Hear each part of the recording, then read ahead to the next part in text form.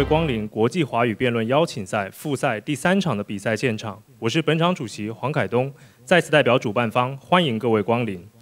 下面有请各位辩手入席。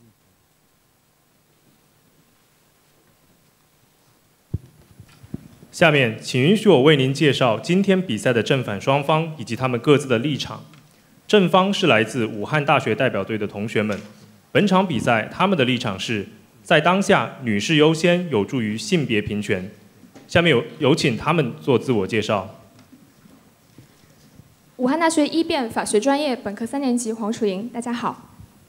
武汉大学二辩汉语文学专业本科四年级罗启祥，大家好。武汉大学三辩法学专业研究生二年级杨晨雪向各位问好。武汉大学四辩传播学专业研究生三年级黄思涵代表武汉大学辩论队问候在场各位，大家晚上好。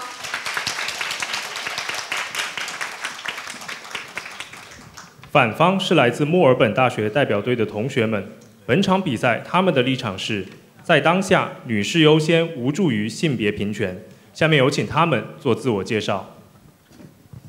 反方一辩范鹏毅，反方二辩夏晨泽，反方三辩李舒阳，反方四辩钟文山，仅代表墨尔本大学中文辩论队问候在场各位。在认识了双方辩手之后，请允许我为您介绍本场比赛的评审，他们是丁冠宇先生、罗淼先生、梁秋阳先生。在比赛开始之前，我将对本次比赛的提示铃声做出说明。当总时长以及自由辩论时间剩余三十秒时，将听到一声铃响。当总时长以及自由辩论时间用尽时，将有两声铃响，请停止发言。现在我宣布国际华语辩论邀请赛复赛第三场的比赛正式开始。首先是陈词一环节，有请正方一辩。谢谢主席，大家好。古老的骑士精神是女士优先的发源地，伴随着个人英雄主义、热忱的献身精神和强烈的荣誉感，关照贵妇的传统也逐渐形成。当然，这其中贵族和平民的阶级局限性，并没能使这种关照扩大到普遍女性身上。但进入民主社会，习语词典将女士优先解释为对女士先做某事的礼貌邀请，比如研讨会上先询问女士是否要发言，这也使得接下来参与讨论的男女比例更加平衡。令人遗憾的是，这种优先考虑女性需求的思路比较集中于社交礼仪的领域，未能深入到社会的整体意识中。我方认为，在当下男性地位明显高于女性的现状中，女士优先应当成为平权政策背后的价值观，成为发现歧视问题的动力和检证平权政策的原则。其实，想要通过女士优先的价值来纠偏男性本位的社会，是一个听上去再合理不过的观点。可这为什么会变成一个辩题呢？调查了诸多争议后，我方有两点回应。第一，对于认为性别平权欣欣向荣、胜利在望的乐观主义者，我方必须强调，当下对女性的歧视和漠视依然广泛且隐蔽。二零二零年全球性别差距报告显示，彻底消除性别差距还需要一百年，东亚是所需时间最长的地区之一。除了经理级职位中女性仅占百分之三十六这种我们早就熟知的职场性别歧视，更多隐蔽的歧视还没有被发现。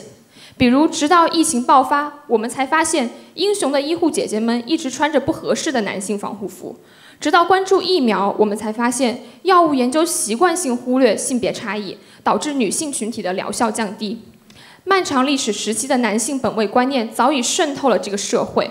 人们在行为模式上形成了男士优先的肌肉记忆，这赋予了不平等的社会结构极大的惯性。女士优先这种全面的价值观，就像一时的雷达，提醒人们凡事先想想，这个默认为男性设计的服务中，女性是否受到了伤害。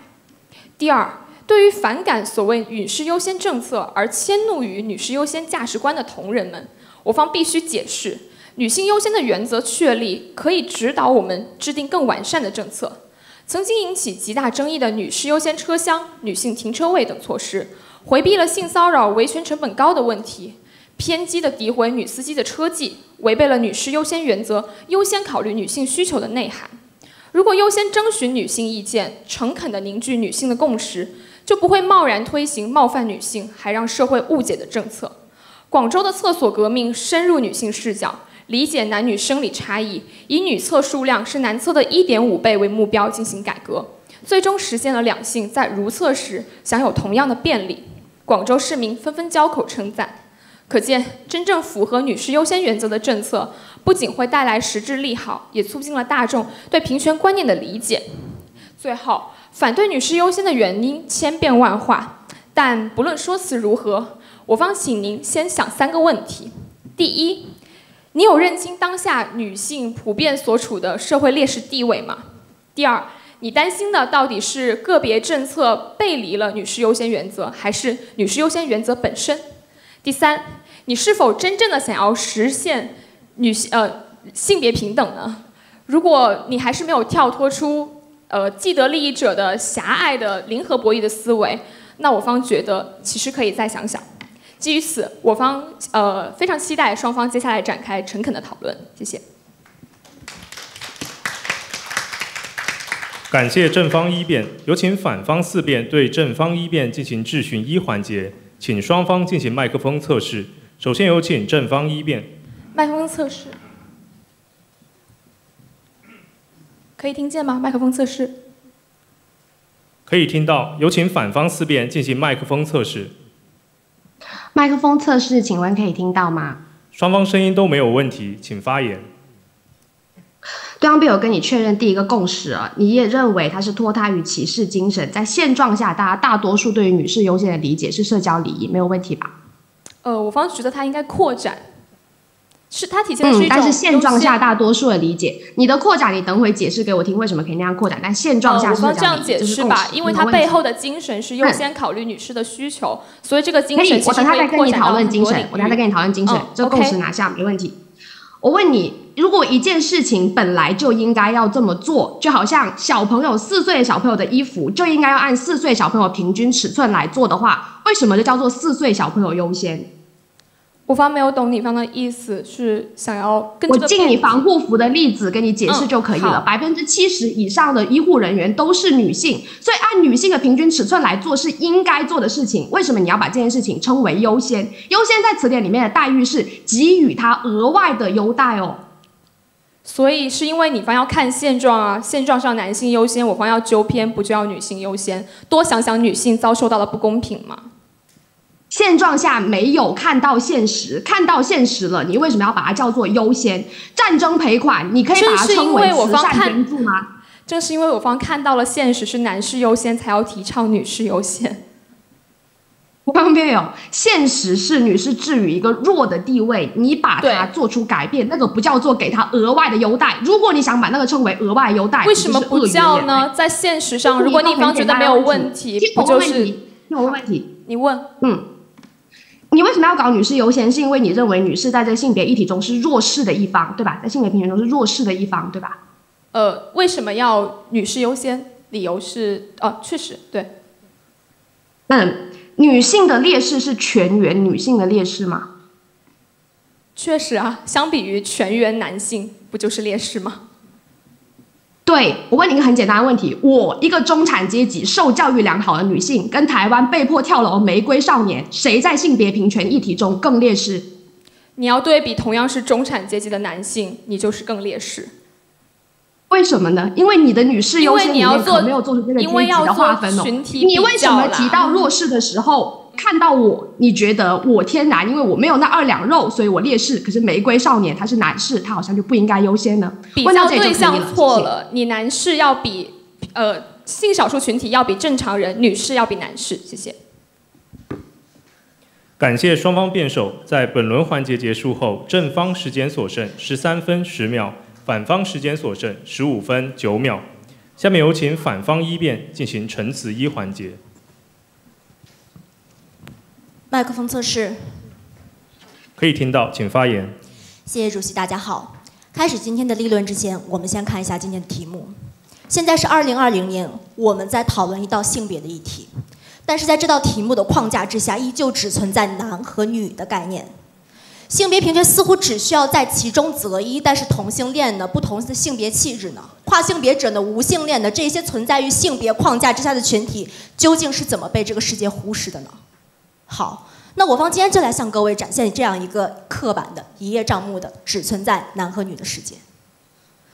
女士优先及 Lady First，根据 Microhill Dictionary and Far and Farlex Dictionary 等一系列权威惯用语词典的解释，只邀请女士或请女士先做某事的礼貌态度。它源于中世纪的骑士精神，被认为是绅士风度的体现。然而，在最讲绅士风度的英国，几个世纪的女士优先却没有带来妇女的投票权。直到1918年，女性靠流血抗争才换来基本的政治权利。可见，女士优先从来不是在所有方面都对女性优待，也不是按照女性的意愿对女性优待。这是一种我不要你觉得，我要我觉得的优待。其实本质依旧是基于父权之下对于女性刻板印象的一种看似差、看似善意的差别对待。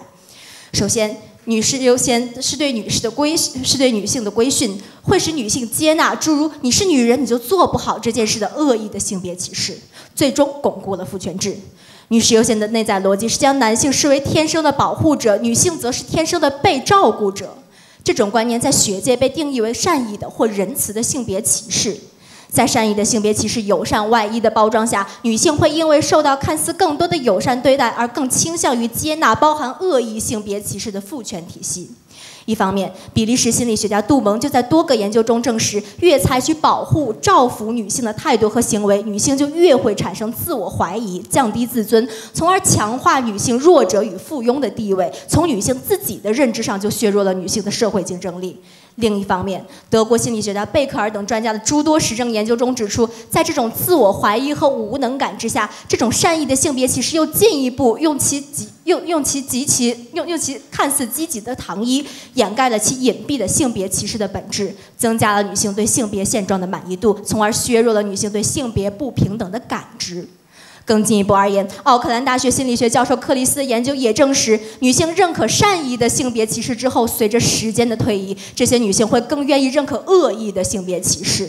从宏观上来看，也的确如此。普林斯顿大学心理学教授菲斯克等学者的研究指出，从不同国家之间进行比较，在善意的性别歧视更为普遍的国家，恶意的性别歧视也更为突出，女性的社会生活地位也更为低下。这种相关性甚至高达甚至高达零点九，几乎是完美相关。因此，善意的性别歧视掩盖了父权制的压迫性，是对父权之下将女性边缘化与工具化价值观的延续和肯定，是助纣为虐的帮凶。第二，女士优先作为一种日常用语，同样也会营造出一种加强性别偏见的社会氛围。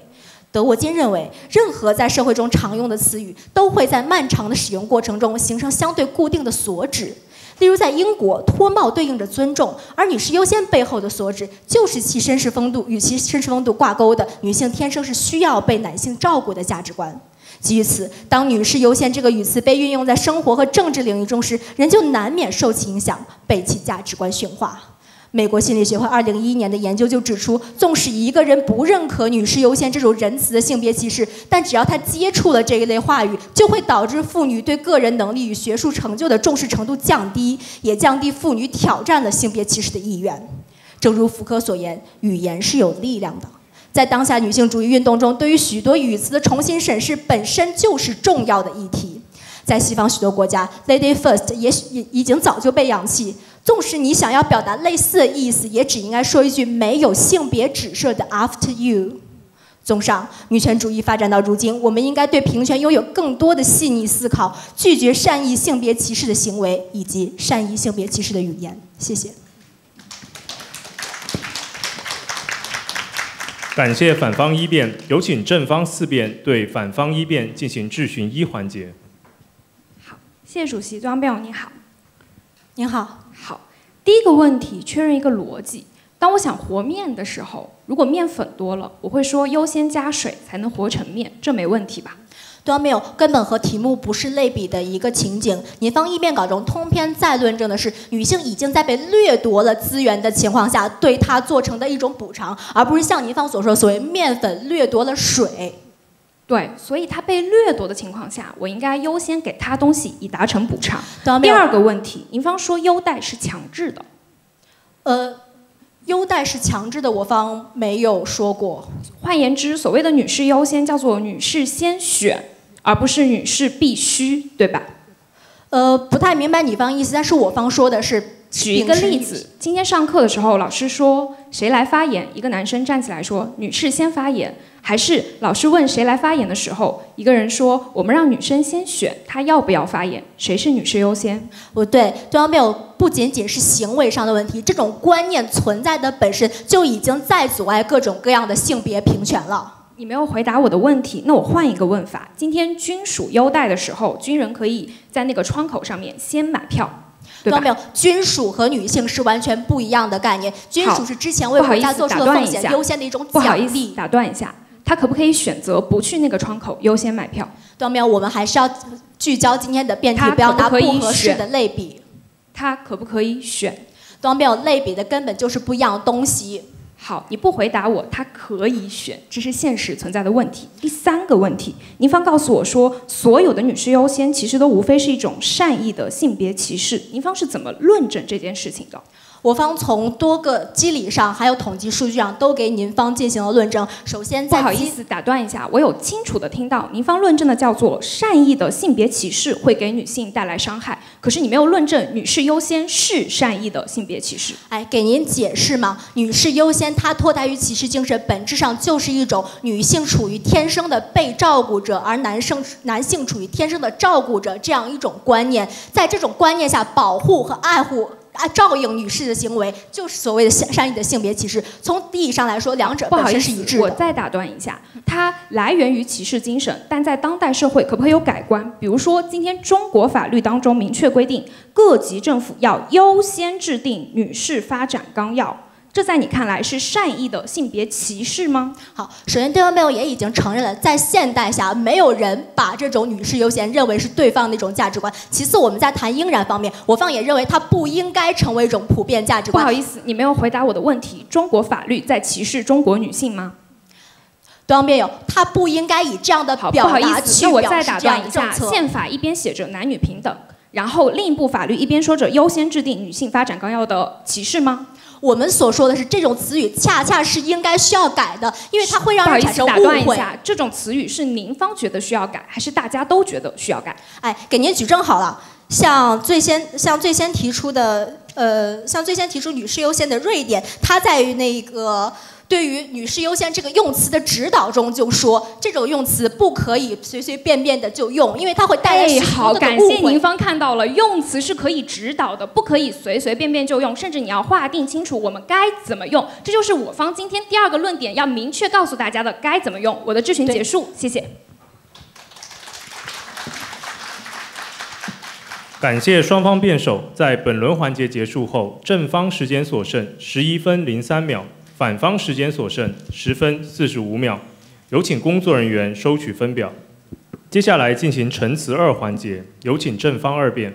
好，谢谢主席，大家好。首先解决一个定义的问题，对方今天认为女士优先仅仅指的是古老的中世纪的骑士精神，我方觉得这道题对今天讨论没有意义。原因是因为我方可以援引今天赵林教授在西方宗教史中的观点，认为。骑士精神的核心叫做尊重女性，所以它在现代社会会有当代社会的延展。就比如说我方质询举出的，在法律中优先制定女性发展的纲要，也就意味着我们把女性放在第一顺位，以女性先选择的方式来尊重女性。解决完第一问题，来看您方的论点。您方第一个论点告诉我说，今天它是一种对于女性的规训，因为它是一种恶意的性别歧视。这完全基于您对女性优先、女士优先这个词的误解。因为在您方看来，女士优先叫做男权社会的人告诉你，你就该这么做。这恰恰不是女士优先，女士优先应该叫做女生今天告诉你我的需求是什么。今天这个社会要以我的选择为核心的选择。就像今天在发言这个问题上，如果我们给女士优先，就意味着女士可以先选择她是选择先发言还是要后发言，她要选择她最符合自己切实利益的那一项，这才叫做女士优先。所以解决完这个担忧问题，来看您方第二个担忧，叫做它会加强女性就是更弱势的这个刻板印象。可是对方没有，我方第一个论点通篇给你论证的就是，这不是刻板印象，而是男权社会刑。诉下的客观事实。今天在男权社会中，正是因为更多人在抛弃女婴，我们才要宣扬抛弃女婴就是放弃生命。正是因为职场上女性董事确实只能占到百分之九点七的比例，我们才要宣扬打破女性的天花板。今天男权社会最狡猾之处，恰恰是一边告诉女性你不应该认为自己是弱势的，另一边却不断的剥夺你的权利。这个时候，女性去正视自己在社会形塑下的这个不公等的地位，弱势的地位本身，是不是才是打破弱势的开始？感谢。感谢正方二辩，有请反方三辩对正方二辩进行质询二环节。啊，好，呃，先澄清个口误啊，我方一辩刚刚举证的是瑞典是先说配额制，他说在指导用词里面说不要用女士优先。我想确认一下，您方有打算告诉大家，在现在的场域当中，大家一般在用女士优先的时候是在怎么用的吗？嗯，比如说我方跟您举的，今天在中国妇女发展纲要中优先制定妇女的女性的发展纲要，这个意思就是指我们要把女性放在不好意思，我打断一下，嗯，那是女士优先还是优先制定妇女的纲要？我们有一个双引号，女士优先这个词怎么用的？所以我方跟你举的就是女士优先在当代的精神内涵的外延啊。我听到您方在一辩里也反对女士优先停车位这些，对吧？呃，那是因为它没有体现女士优先的精神，恰恰是忽视了女士的感受。这是不是证明？这是不是证嗯明现况下，在我们制定这些女士优先停车位也好，女士优先这个呃车厢也好的时候，其实用法跟您方所主张的其实是不一样的。不对，我方跟你解释的是，这个政策本身体现的恰恰是对女性的不尊重，因为他天生认为女性司机就是更不会开车，所以女性停车位才会这么制定，他恰恰是歧视女性。而我方跟你对，所以你方觉得我们要改变女士优先的定义，对不对？不是改变女士优先的定义，而是他没有贯彻女士优先的精神。所以我方跟你举证的，无论是广州的厕所革命，还是西安的这个对女性的这个减刑都是士优先的精神是什么呢？就是优先考量女性，让女性拥有优先选择权。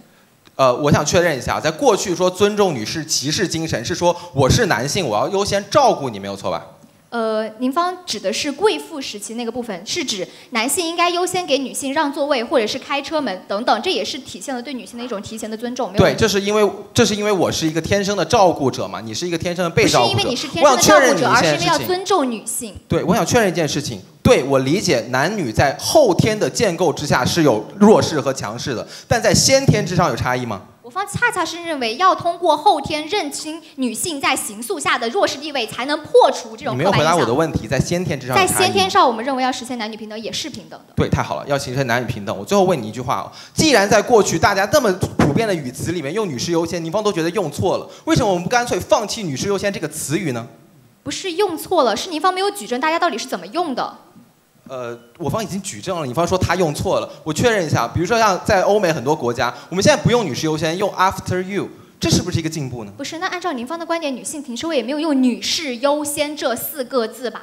所以今天 after you 是不是也可以有别的深圳那翻译方个叫女士式？优先车厢，我我问到这里。好，感谢。感谢双方辩手，在本轮环节结束后，正方时间所剩九分十九秒，反方时间所剩九分十六秒。下面有请反方二辩进行陈词二环节。谢谢主席，我们不要卷。这个世界存在着两种女士优先，一种是像对方讲的，说我对女性好，叫做优先对女士怎么怎么样；还有一种女士停车停停车位，女士优先车厢，他们也本着对女生好的精神吧，对不对？这也是他们一开始的动机，没有错吧？两种都要讨论。可是最吊诡的地方在哪里？最吊诡的地方是从对方的这个女权主义者出发人，他根本不会用“女性优先”这个名词，因为这个名词它本身是代表着一个时代的含义的。这个“女性优先”打着双引号，它是什么？它是 “ladies first” 这个词在在国际社会里，在西方社会里，它是什么意思？它是过去对女生的一个刻板印象，一个弱势。不管是剑桥、BBC，甚至是联合国，联合国直接说了，我们推崇我们推崇叫什么性别配额制，但是我们不提倡用“女士优先”这个表述。女士优先这个词就是这么的简单，包括您方举的这个性别配额制，它一开始来自于哪里？二零零四年的瑞典，它那个时候出了一本纲要，叫做什么？它里面有一个章节叫做 International Translations，讲的是性别配额这个制度要在其他的地方怎么本土化的传播，特地提到的概念。我们要讲多元平衡政策，我们要讲性别平衡政策，我们不能讲女士优先这个词，因为我们考量到那个人的感受。再来，您方告诉我说，我方的这个视角的观念已经在这个现代不流行了。我觉得不是的，女士优先这个观念仍然在当代以非常多的诡异的形式存在在我们的社会当中。我举个最简单的例子好了，电竞这个电电玩少女，对不对？这个男生要带女生打电动，男生觉得女生应该打一点就好玩的位置，这个有游戏体验的位置，男生给女生选了个辅助，因为辅助他如果这个打崩了的话，他可以去其他线帮人，对不对？那在这个时候，本来都是两只手、两个眼、一对眼睛的这个男士和女士，男生可以疯狂补刀锻炼技术，女生这个时候就不行了，既差异就这样产生了，男女的差异就这样产生了。宁方今天尝试用一个塑造出这个男女差异的方式来解决这个问题，我方是觉得非常的荒谬的。我方今天经济情情绪一点有点不好的原因，是因为当对方提出了我们今天要坦诚点聊，我们今天要讲平权政策的价值观，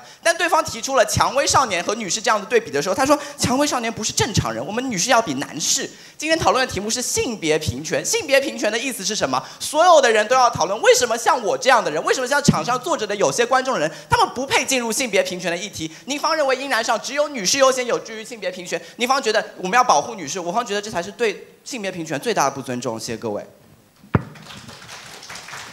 感谢反方二辩，有请正方三辩对反方二辩进行质询二环节。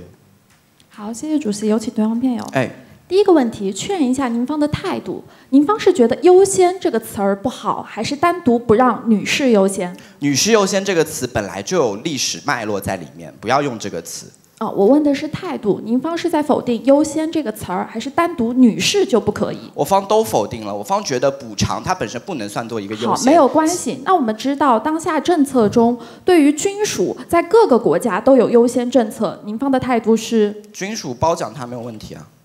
哦，为什么可以优先呢？这个时候，褒奖他们呀，不会刑诉他们在社会上更为弱势，更应该偏倾斜。你不担心其他的群体产生嫉妒和愤怒吗？为什么他们对我们做这么好的事情，我们为什么要嫉妒？好，没有关系，你不觉得？第二个问题，今天我们骑士精神的起源，在过去，因为英国那个世纪服装非常的复杂，以至于女性行动上不太方便，所以我们照顾她，对吧？我方的意思很简单，男权和女权都会想要对女性好，他们延展出来的行为不一样，而女权主义者不会用“女士优先”这个词。这个社会背景是这样的，对吧？对。好。那我们来看看女性在当下有没有不变。您方的第二个点叫做“我得到我本来应该得的就不叫优先”，对吧？我觉得补偿不算一种优先。补偿不算优先，可是如果这个社会告诉你的是这本不是你的哦，那这个时候我争取我的资源为什么不叫优先？这叫补偿啊，争取你应该要得到的补偿啊。可是你不能说你觉得是你该得的，这个社会不这么觉得的时候，以谁为标准呢？呃，你好了。但是仍然是补偿啊。对，所以我们要来看的是这个社会现状到底是怎样的。第三个问题，今天您方说在男女平等上就可以做到，请问我们知道在职业上啊，我们经常招聘的时候就会遇到对性别的歧视，您方男女平等的口号是如何做到的呢？我方说多元化政策，我方不说男女平等。能举个例子吗？呃，奥斯卡多元化新规。呃，所以今天我们告诉大家，招男招女一样的时候，你具体采取什么政策保证大家女士录入？多元化新规的意思是缺少代表的人要被进去嘛？我们不要用“女士优先”这个词嘛？就是也是要固定录入女性，对不对？不是啊，如果是同性恋缺少代表就是同性恋，如果是女士缺少代表就是女性。没有关系。你为什么觉得只有女士优先在这个有助于平权，别的东西都不再是了？我方反对的就是“女士优先”这个词啊。啊，没有关系。我方觉得，如果少数群体如您方一样期待平权，也可以进行相应的政策。所以聊回女性的问题，您方的具体政策是？不对，您方一辩的态度就很简单，我你们女士优先在解决的只有男女两件事情，蔷薇少年这样的事情你们不打算解决，可是在我方的多元化新规里面可以被解决。啊，您误会了。今天我方说的是这个题目在聊的是女性的劣势，所以期待您方继续解释，在您方的那个体系里，是不是要把资源固定的向女性倾斜，以及为什么这种情况您方就坚持不叫它女性女士优先带来的弊端是什么？我的质询结束。谢谢。感谢双方辩手，在本轮环节结束后，正方时间所剩七分零一秒。反方时间所剩六分五十一秒，有请工作人员收取分表。接下来进行战术暂停环节，在本环节双方可各派一名教练上场指导。此环节单独计时，时间为三分钟。时间到，请双方停止讨论。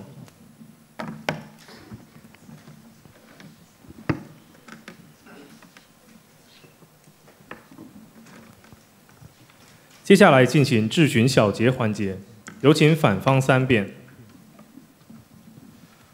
好，谢谢主席。其实对方三辩说到最后已经露馅了，为什么？他说这是一道女性议题，不对，这是一个性平议题。对方四辩讲说，我们现在国家政策讲优先给女性制定政策，不对，我们应该优先给性别平等。制定政策。今天宁方问我方为什么这么在意这个语词？其实宁方也想要修改这个呃女士优先的定义，应该怎么做，对不对？因为我们同等认为语词它是有力量的。然后一辩稿告诉大家，去接受了性别，在那个环境里面看到了太多仁慈性别歧视的话语，在这种情况下，他自己。在自己这个过程中就会被其规训，无论你认可他还是不认可他。在这个地方，对方唯一的攻击是说什么？说，哎，那你这个仁慈的性别歧视是女性也优先吗？我们这边有一份这个报告，他在定义仁慈性别歧视，举的例子就是对女性像如妻子、母亲、保姆般的尊敬，将妇女浪漫化为异性恋的对象，以及相信男人有保护妇女的义务，这都是歧视精神，这都是绅士风度，而这都是今天我们这个女士优先它背后的所指。这个时候，对方说要改。我方说不对，你方应该要把这个话语整个的放弃掉。为什么？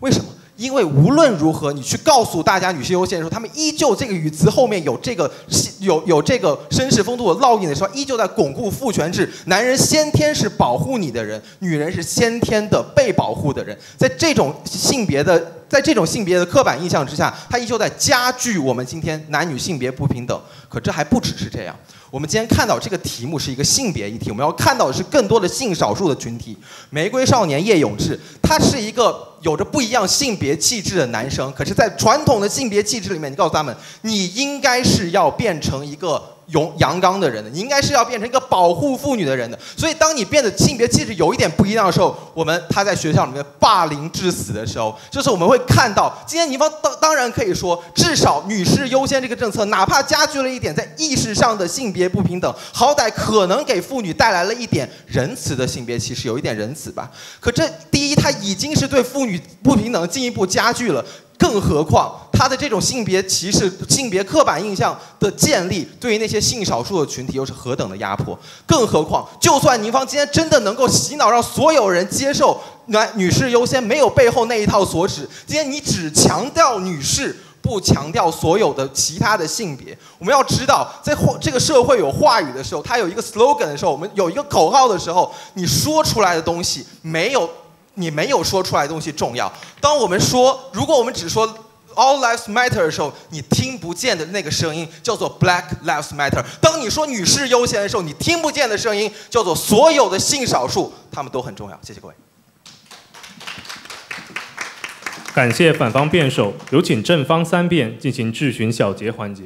好，谢谢主席。诚然，像您方说的，少数群体在这个社会也面对了很多的困境。您方的愤怒，我方都能理解，因为女性也面对着相同的困境。可是您方今天的态度让我非常非常的失望，因为您方试图引入更多的问题来搅乱这一谈女性本来面对的困境，我方不理解。今天您方对“女士优先”这个词儿非常非常的反感，原因是什么？你觉得是一种补偿就不该叫优先？可是大家朴素的理解一下，什么叫补偿？不就是在这个社会环境下，在这个现实下，补的不是你，资源给的不是你，是我，这就够了。所以我们来聊的是今天一个打引号的女士优先，这背后的精神，我们更多的优先的考虑一下，女性在这个社会上有没有不公，有没有应该被照顾到的地方，这个精神到底有没有错？今天在这个精神下，您方给了一些政策，呃，比如说车厢，比如说停车位。您方告诉我，这些错的政策也没有带来平权呀，也引起了女性的反感呐。但您方需要约论证两点：第一是为什么这个精神引导的政策就必然都是错的；第二个是为什么这些错误的政策真的是在为女士优先，以女士为导向来考虑吗？我方今天都没有听到。最后一点，您方告诉我，很可能是善意的歧视，而善意的歧视，女性会习以为常。我方不理解，你为什么要把女生解读成一个连社会对待你到底是歧视还是公平，是照顾还是偏袒都区分不出来的生物呢？我相信，如果今天您方举出一个歧视非常明显的政策，比如说停车位，今天女性的技术就是超越不了其他，女性会反感。哪个女生就这么习惯了？我方不理解。所以到目前为止，我在您方这里看到的态度都是对女女性的误解。没错，您方今今天引入了很多少数群体。我想分享一个我前段时间看到的新闻，非常生气。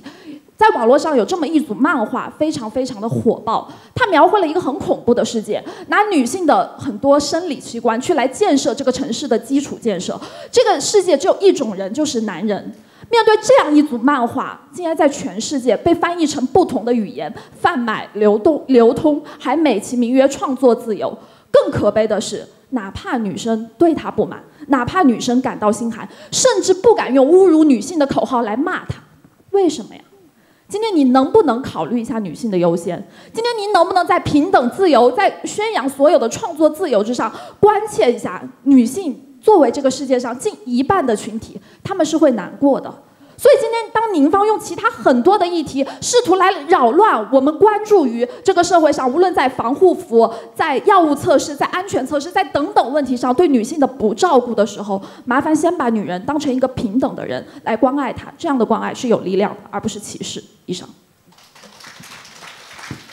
感谢双方辩手，在本轮环节结束后，正方时间所剩四分零五秒，反方时间所剩四分零一秒。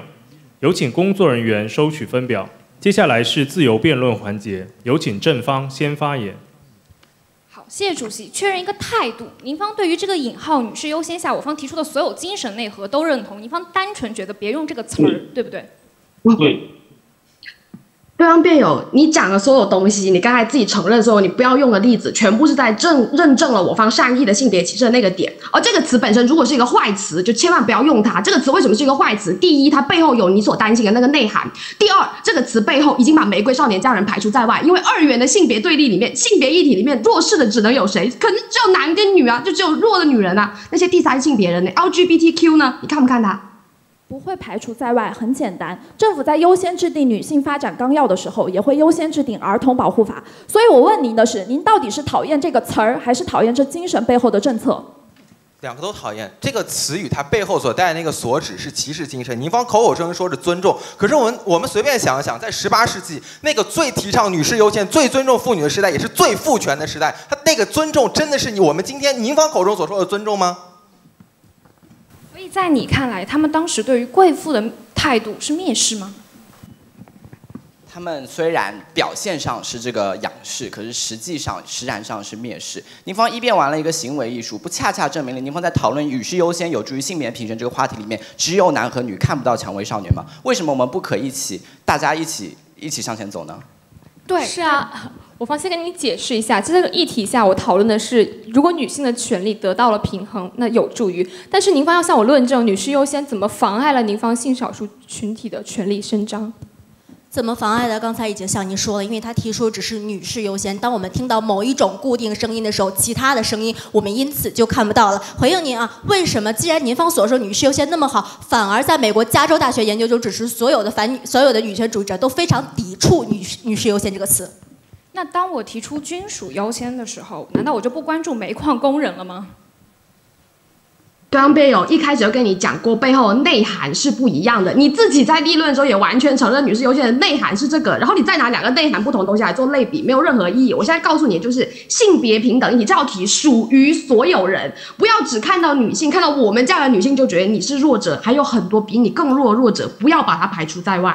好，那我先截一下。我看到了军属优先，既然不妨碍我看煤矿工人，那我看到了女士优先，也就不妨碍我同样去支持性少数者。这个问题真的，我们可以待会儿再聊。我们先聊回来。您方觉得，在这个女士优先的政策之下，出现了一些偏差，这些偏差是不可扭转的，且女人蠢到没有办法分辨，是吗？方辩友是因为完全就是如你所讲的，他就在建构这个体系。女人不可以扭转，是因为你把明明是补偿的东西告诉他，这个是女士优先，补偿就是补偿，战争赔款就是战争赔款，讲成慈善捐款，对男人会更愿意掏出来一点。可是你要用这个方法来骗女人吗？对，战争赔款在一笔国家的资金中，我优先把这个资金拨给战争赔款，这就叫优先。所以在当下的政策中，我们是不是就应该把先一部分的资源倾斜给女性？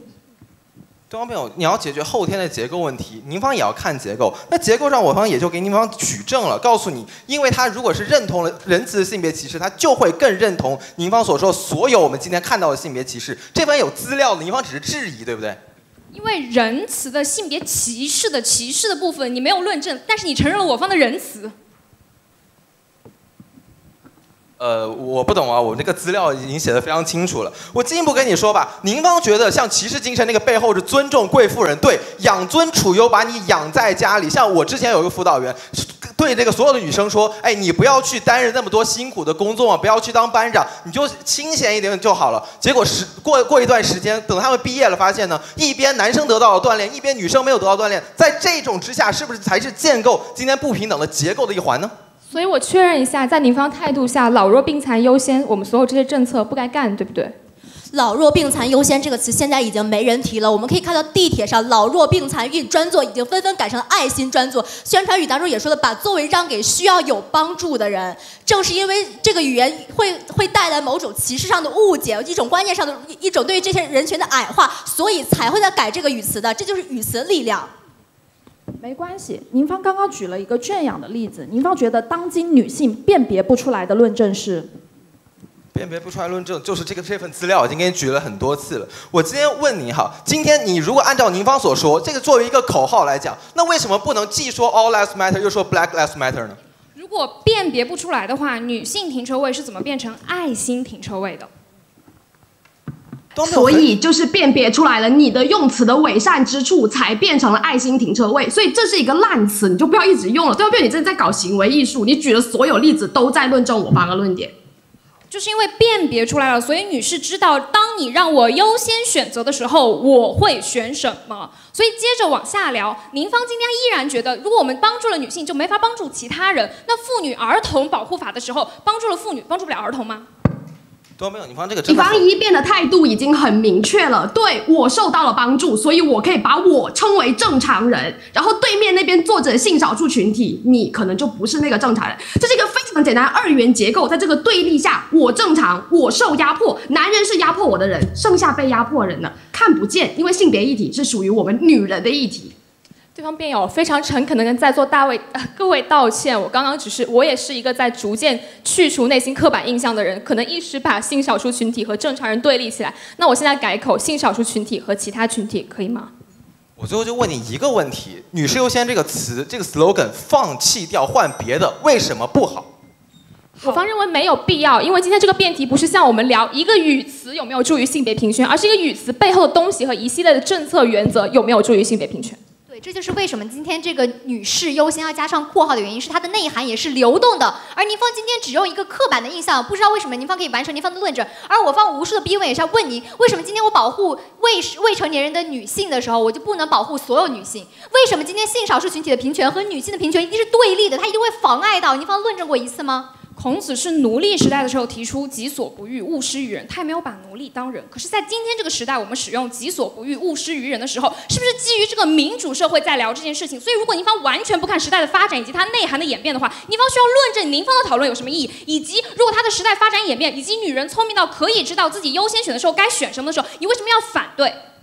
而如果您方今天真的只是讨厌这四个字儿，我们可以根据民意不把它张贴成张贴成大字报。而现实是，当堕胎的女性，呃，当堕胎大多数是女婴的时候，我们切切实实的会在外面贴上丢弃女性才是，呃，丢弃女婴才是残害生命。这种资源的倾斜，不就是关注现实中的不公平吗？而您方唯一的担忧是女性区分不出来这是善意的歧视。可是为什么今天女性要对女性停车位说 say no 呢？那是因为女性能够判断哪一个是真正秉持着尊重我的精神做出来的女士优先的决策，哪些不是。对，所以我们在看到今天我们看到女性面临的这么黑暗的现状，宁芳告诉我说，你不要多就谈女性多么惨，你要看到所有人都很惨。宁芳不是在搅浑水，是在干什么？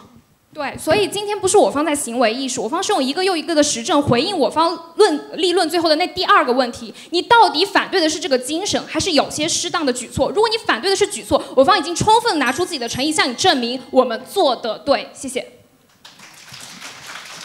再次感谢双方辩手，有请工作人员收取分表。最后进行总结陈词环节。根据赛前抽签的结果，首先有请反方四辩。有请反方四辩进行麦克风测试。喂，麦克风测试，请问可以听到吗？声音没有问题，请发言。好，谢谢主席。打到最后啊，必须从头到尾很清楚的帮助裁判们能够试图去厘清，知道比赛中完全的东西。我们从一开始的时候，其实双方就达成了非常坚定的共识，对他脱胎于骑士精神，对他脱胎于这种我应该要保护你的东西，所以我才会说对方真的在玩行为艺术。因为你在举出种种那种被你摒弃掉、用的不好的例子的时候，其实都是我方典义里面举的例子，而你方没有举出任何实证来对抗的时候呢，其实这些例子在我方的善意性别歧视中已经完全的全部成立了。这些例子在实染中，在现现实生活中的体现，恰恰就表现了当那些男人们觉得你总要从我身上学点什么，你是值得被保护的那一方，我需要给你额外的优待的时候，对我方的点一已经在这个状态下完全正常了。而对方说你可以带来任何的优势，事实上啊，直到最后这个自由变的时候，你才说啊，有一些可以出生率，可以有一些可以改变的地方。可是问题就在有方在一开始直选的时候就非常清楚告诉你，补偿就是补偿，一件事情该这么做就是该这么做，不要把它讲成是优先。当你把讲成是优先的时候，你再给大家一个错觉，你再告诉男性你很高尚，你很爱，你很保护这些女人，你再告诉这些女性，你看社会进步了哟，这个社会真的很棒棒哦，你从中得到了很多你本来不可以得到的东西。可是事实不是这样的，你拿到的那些东西是你本来应得的东西，没有人有资格跟你说这个东西是我给你的，补偿就是补偿。任何一个不想要立正挨打的人都没有真正意识到性别平权的桎梏产生在哪里，性别平权的障碍在哪里，阻碍我们往前走的那些人究竟是谁？最后一件事情，平等，您方想要讲，无非就是说可以多生一些孩子，可以多上一些学。可是平等从来都不只是利益，平等最重要的东西是观念。在美国，种族主义那么多年过去，到今天都没有完全的完成这个种族的这个平等。为什么？因为表面上我们可以一起投票，我心里还是有抹黑脸，还是有吃西瓜，还是有炸鸡，还是有 D M word。因为我心里面还是有你所要使用的那个语词，你所要用的那种讲法背后带来那种很明确的暗示。所以当我这样女士优先，我给你开门，甚至我把配额制扭曲成那个样子，说啊，我可以让你进来念书的时候，我都会在一遍又一遍的告诉你，你是这个社会的附庸，你是这个社会的第二性。如果今天没有我这么善良大度，帮你把这个康庄大道铺好，你永远别想坐在或者站在你今天站在的这个地方。而事实上，我方从一开始也到最后，非常想要讲一件事情，就是这道题，您方从一到四完全都有一个理解性的错误。我相信可能你不是理解性错误，你只是出于辩题的迟放，你必须要这样讲而已。这道题不是一个专属于女性的题，性别平权议题是属于所有人的。而你所要想讲，哎，我可以讲女性优先，我可以讲别的优先，可是重要的不是你说出来的话，是你没说出来的话。别的优先这件事情，在你以性别二元论认为被压迫者只能是女性，压迫者只能是男性，只要我解决这个问题，那理论上你就应该一切都 OK 的时候，你就在堵住了性别平权那条路。我其实已经跟你讲过了，我的境遇跟叶永志的境遇是完全有差别的，我绝对不会白目到说我比他更需要优先。而这个时候，你所做的东西不是补偿，你不是进一步的能够去加一个东西。当你在讲双向的这个二元性别对立的时候，你早就忽略这个光谱中间有很多人，他们在同时被双向的打对立啊。你方讲 J N 帝国，我要讲个比你更敏感的东西，成都 M C 浴场。成都 MC 浴场出现的时候，很多那些平时一直在转发各种女权议题的女孩子们在下面说，同性恋就不是正常人，同性恋就不应该要孩子，同性恋的欲望怎么可以接受承认？你可以对 MC 浴场有非常多不一样的看法，可是这些看法都不应该延伸成为你对性少数群体的这些可怕的概念。可是当我是正常人的时候，当我可以享受优先这个议题的时候，好像我就多了可以这么说的勇气，这才最可怕的地方。一边转发 JM 帝国，一边说同性恋不配活在这个世界上。中国还好没有同性恋婚姻合法化，那些人真的，时间你们才要真的去检检醒自己，女士优先是不是真的一个性别平权的话语？谢谢。感谢反方辩手，有请正方四辩。谢谢主席，再次问候在场各位。对方今天两个问题，第一，他觉得这是一个巩固父权制的词语，唯一的论证叫做他脱胎于一个那样的封建时代。最后己所不欲，勿施于人的例子举给你的时候，对方四辩并没有反对我。那我姑且认为，我们认为一个脱胎于以前的词语，在新时代可以有它的解释。第二个问题，也是我们今天我说待会儿要和大家聊的那个性少数者的问题。今天宁芳说，我们为什么要说黑命贵呢？为什么要特意强调它？你知道在强调它的时候，有多少搅浑水的人会站出来说，你知道亚裔人在美国过得更惨吗？你知道那个在欧洲被难民强奸的白人妇女，她更难过吗？你这不是在搅浑水，是在干什么？我们在聊一件事，一码事归一码事。好，如果你不能接受这个解释，我往下讲一层。你有没有想过，性少数者和女性同为这个社会当中被压迫的群体，我们本来是共同体。今天您告诉我说，今天你只强调你的议题的时候，你有考虑过他怎么想吗？我有考虑过。如果今天女性可以拿到自己的生育自由，而不被当成一个随着年龄增长就在腐朽的子宫的话，那男同性恋也不必去承担我必须繁衍后代的责任。他看到我的自由的时候，会不会觉得他的自由也不远了？因为这个社会在向着一个更包容、更自由的方向前进。第二个问题，你方说成都浴场非常好。今天成都那个逛了很多个酒吧的女孩，她在接受荡妇羞辱的时候，每一个性少数群体背后也会瑟瑟发抖。可是如果今天他不必接受荡妇羞辱的时候，是不是每一个进过成都浴场的男生也会觉得这个社会在往一个更加包容和多元的方向前进？我也感受到了，所以我也可以期待我的平权尽快到来。所以这个词语到底是给他们带来了压力，还是给他们带来了希望？你方从来都没有论证过。回到我方，你方今天一直在说你方好行为艺术哦，举了好多根本就是我方的例子嘛，不是，我更愿意把它称之为预设反驳，因为我方在拿到这个题目的时候就感受到，我们不像是一个正方，更像是一个反方，因为我们要回应这个社会当中大多数对我们的质疑。其中一个非常关键的点就是，大家不相信，当你给女性优先选择权的时候，他们能选对，所以他们一厢情愿的给你提供了女司机就是车技差嘛的车位，而我们最后把它扭转过来了，是不是意味着我们自己可以去肃清女士优先这个议题下面我们应该做什么？所以给我们一点信任好吗？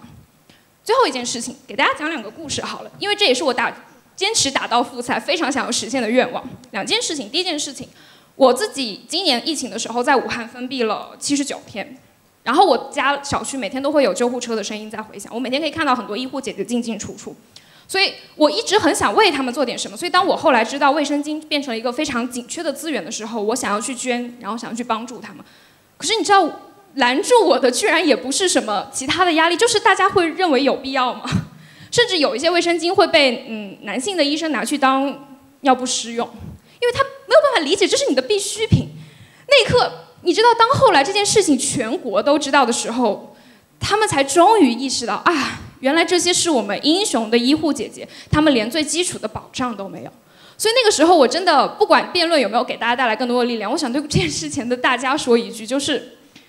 可不可以不要等女人变成英雄之后，你才去意识到，她们也是人？可不可以不要等女人变成尸体，变成那个统计意义上的那个数据的时候，你才意识到，天哪，中国每年有三千万的女婴，她们死了。在这之前，你能不能就先意识到虐杀女婴是残害生命？我方的诉求就这么简单，对方也不敢承认。最后一件事情。哦，今天大家看到，我们可以平等的站在这里跟对方的男生讨论，跟三个评委学长诉说这些故事，你就觉得我们好像平等了？不是的，今天我可以站在这里说话，源于极大的运气，因为我在出生的时候，妈妈没有穿转，没有吃转胎药，把我变成男孩子。我没有成为那三千万被剁掉的女婴之一。我在受教育的时候，在中国这样一个女性文盲占到了百分之七十的国家，我没有成为一个文盲。我上到了一个好的大学，我接受了好的教育，我今天才有平等的资格站在这里跟你说话。你以为我们是平等的吗？真的不是。我花光了所有的运气，才有幸站在你的面前。这是我能想到的最温柔的对各位的控诉了。谢谢。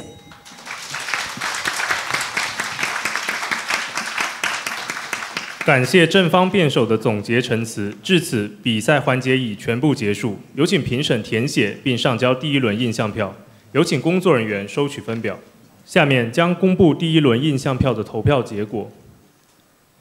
丁冠宇先丁冠宇先生印象票投给了正方，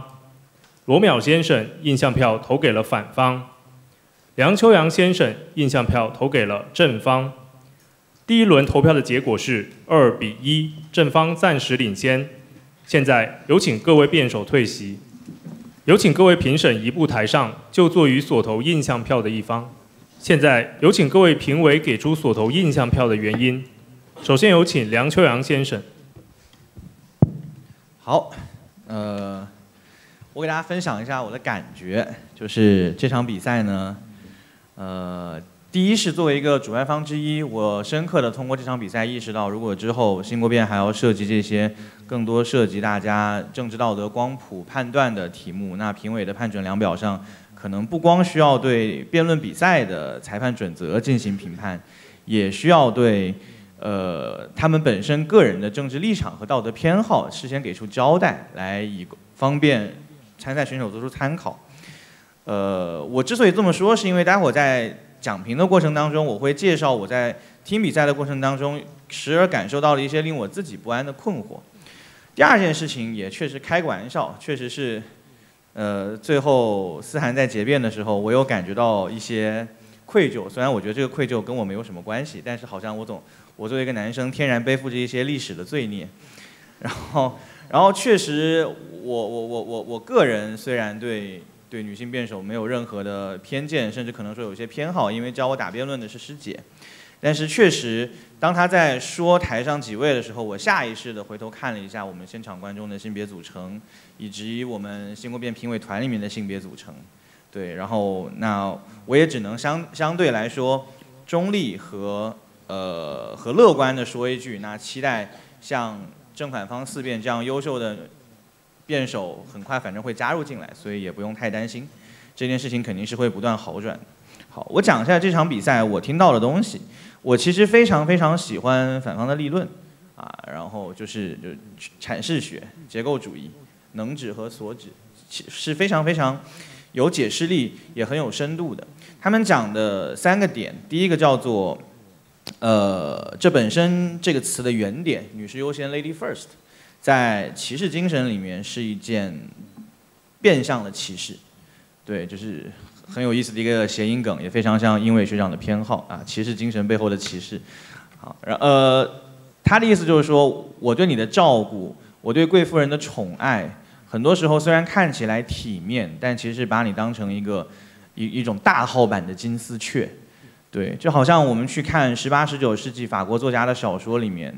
对于什么德拉穆尔夫人、红与黑，然后或者是那个呃那。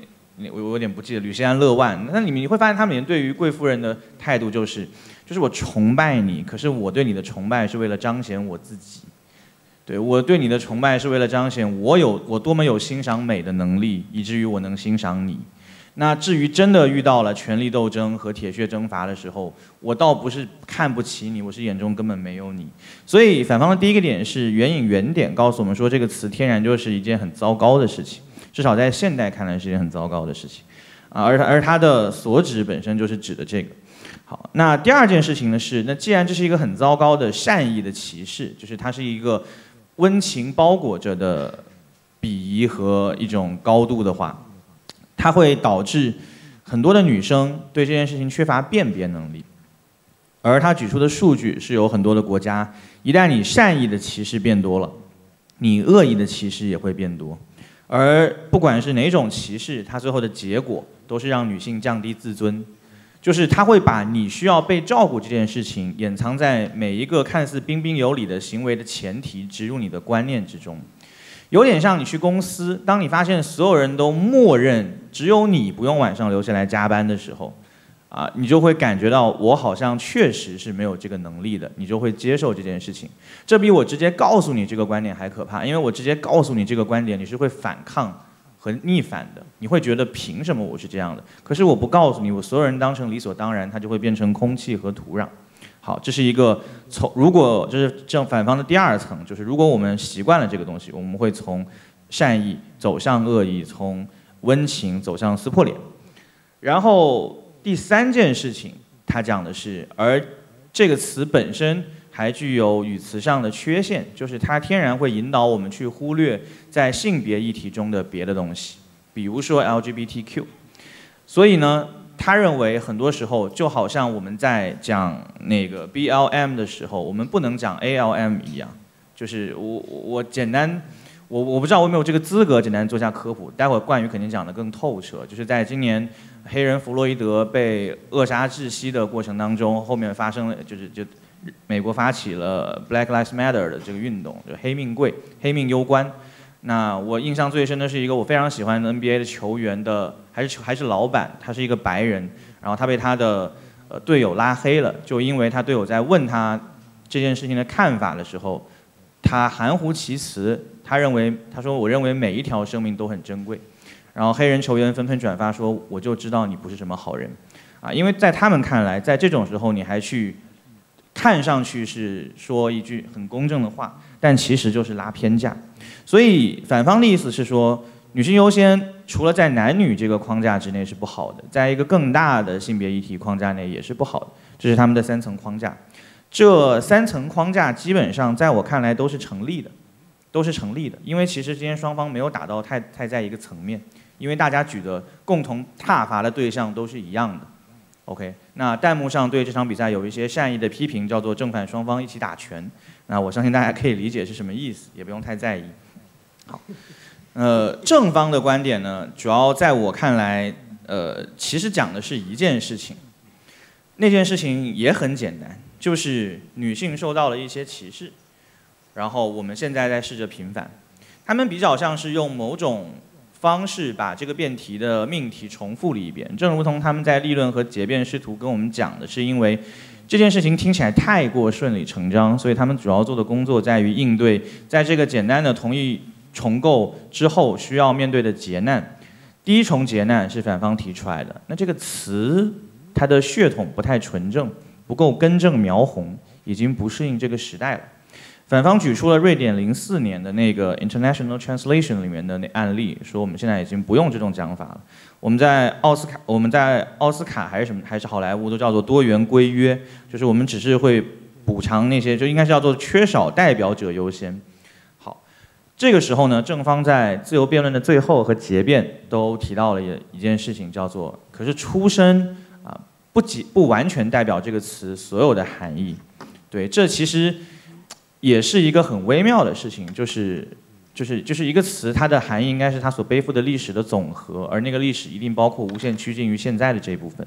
所以正方的意思是说，就像孔子提出“己所不欲，勿施于人”，也是在一个把不把很多人当人的时代，但不妨碍我们在今天把这个准则推广到所有的人，并且是本能的推广到所有人。大家在学到这篇课文的时候，也不会认为这个词就有问题。OK，所以他认为我们有理由在今天的语境当中对女士优先做出修正。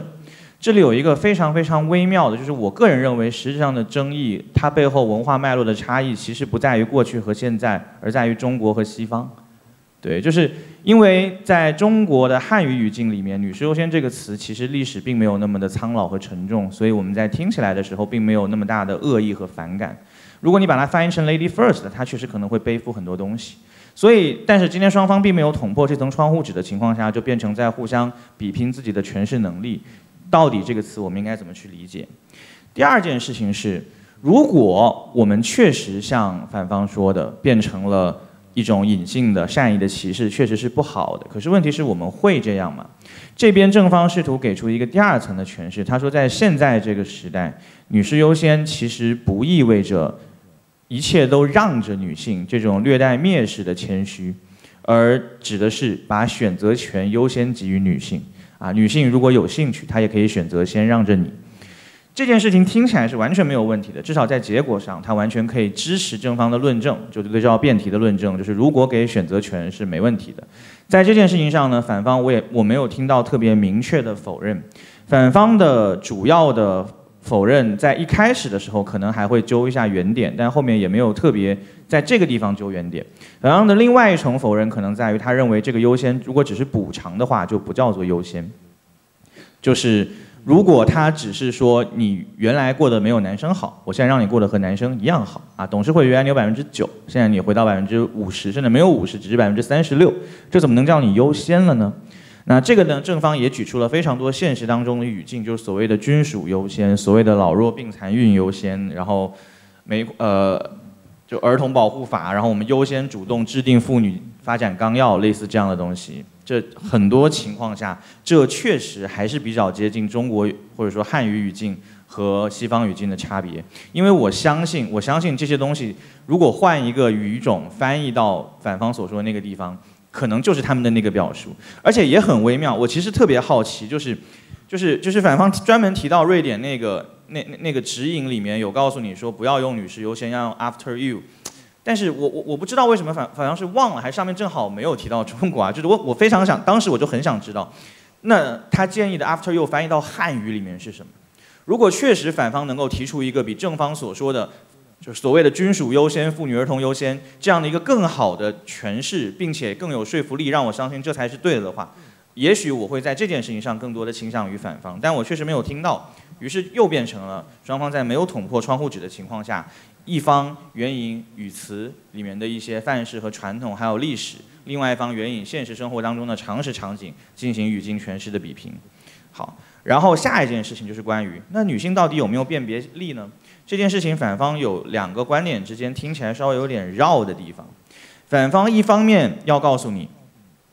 女性应该是没有辨别力的，否则她们不会被善意的歧视骗，进而被拖进去。但是如果女性没有辨别力，那我们四个是怎么知道的呢？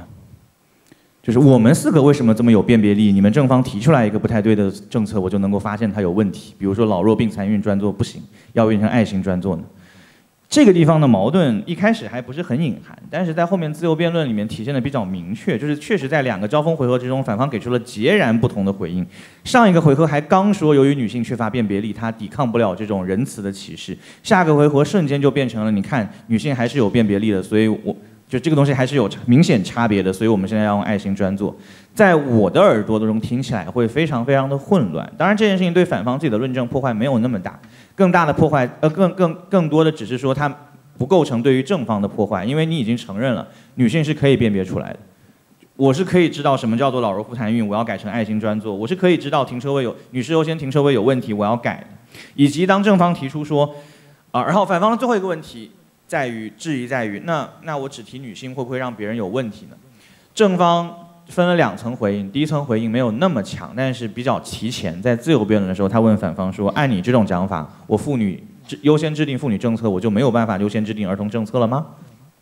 我优先制定了军属优先，我就没有办法制定煤矿工人优先的规则了吗？”其实这件事情如果再点透一点的话，就是如果从这个角度单纯来进行这种争辩的话，反方讲的在正方的耳朵中听起来，你不就欺负人同一时间只能说同一段同一句话吗？我没有办法把。就是像，就是怎么说呢？B 站叠鬼畜一样，把无数个弱势群体的声音叠在同一个音轨的同时，两秒钟之内，然后出现一个就是震耳欲聋的优先两个字，我就不算是平等，因为你先说了一个，没有说另一个，而你没有说出来的，或者你后说出来的，比你说出来的威力更大。这、这、这、这是正方的吐槽了，包括正方到最后提出来，你觉得在搅浑水，就好像你们会不认为在 BLM 的时候我提 ALM 是一件很冒犯、很奇怪的事情一样，他们会觉得那那些亚裔。在 B L M 的时候去提 A L M，就是就是 Asian Lives Matter，是不是也很奇怪呢？所以从这个角度来说，我会认为双方的论证基本上都各自成立。于是下一个特别特别简单的判断就会变成：那到底谁的论证对我来说更有说服力，或者我认为谁的论证应该更有说服力？在这里我判给正方是有一点不安的。这个不安主要来自于一件事情，就是我负责任的告诉大家，我认为应该坦诚这件事情。判决量表里面有问，但是我应该坦诚，就是对于以我的常识来说，我不认为我是一个非常顽固的保守派，但是我说这句话依然诚惶诚恐。就是当我听到有非常多人在抨击，在那些黑人游行 Black Lives Matter 的时候，他们提出 All Lives Matter，我对他们的主要的反感来自于第一，他们没有情商，对，因为就好像你在。你在一户人家正在做丧事，他们家里的亲属刚过世，你举了一个大标语过去，人终有一死，对，你说的没有错呀，对吧？你说的没有错呀，但是人家打你也是没有错的呀，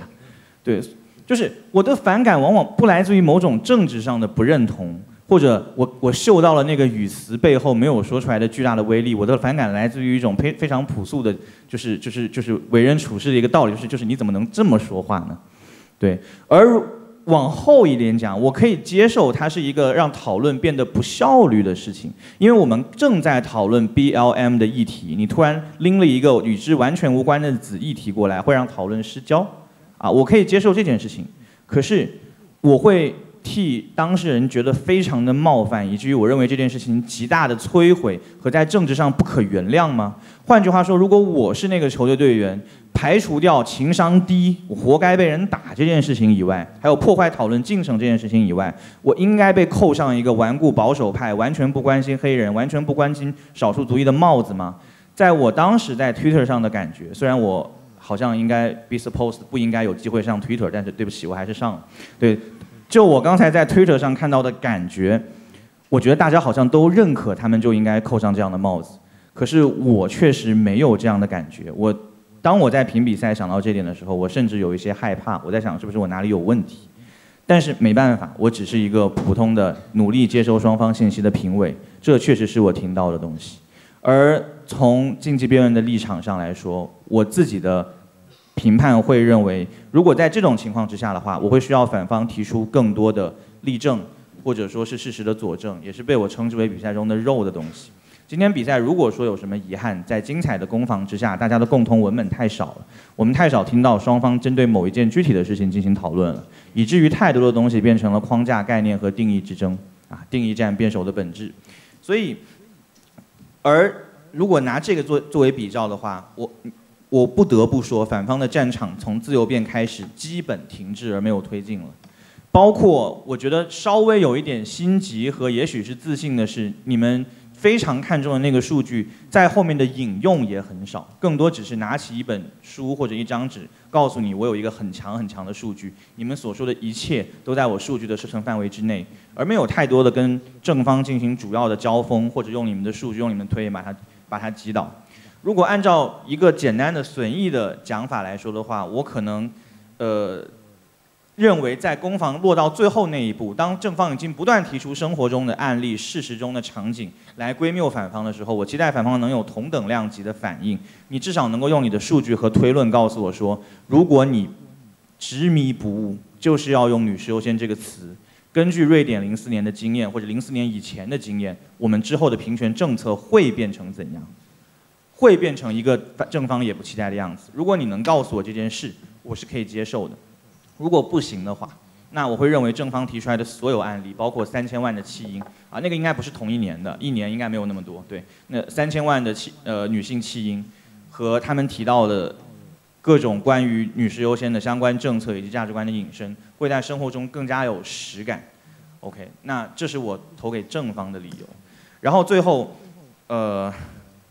对，就是我觉得双方讲的都非常非常的清楚，打的也很好，我这边就不做更多的阐发，我只能说，那呃这场比赛，我我还是以一个主办方的的的的心态安慰一下大家，这场比赛在上线之后，大家一定会受到弹幕非常多善意的批评，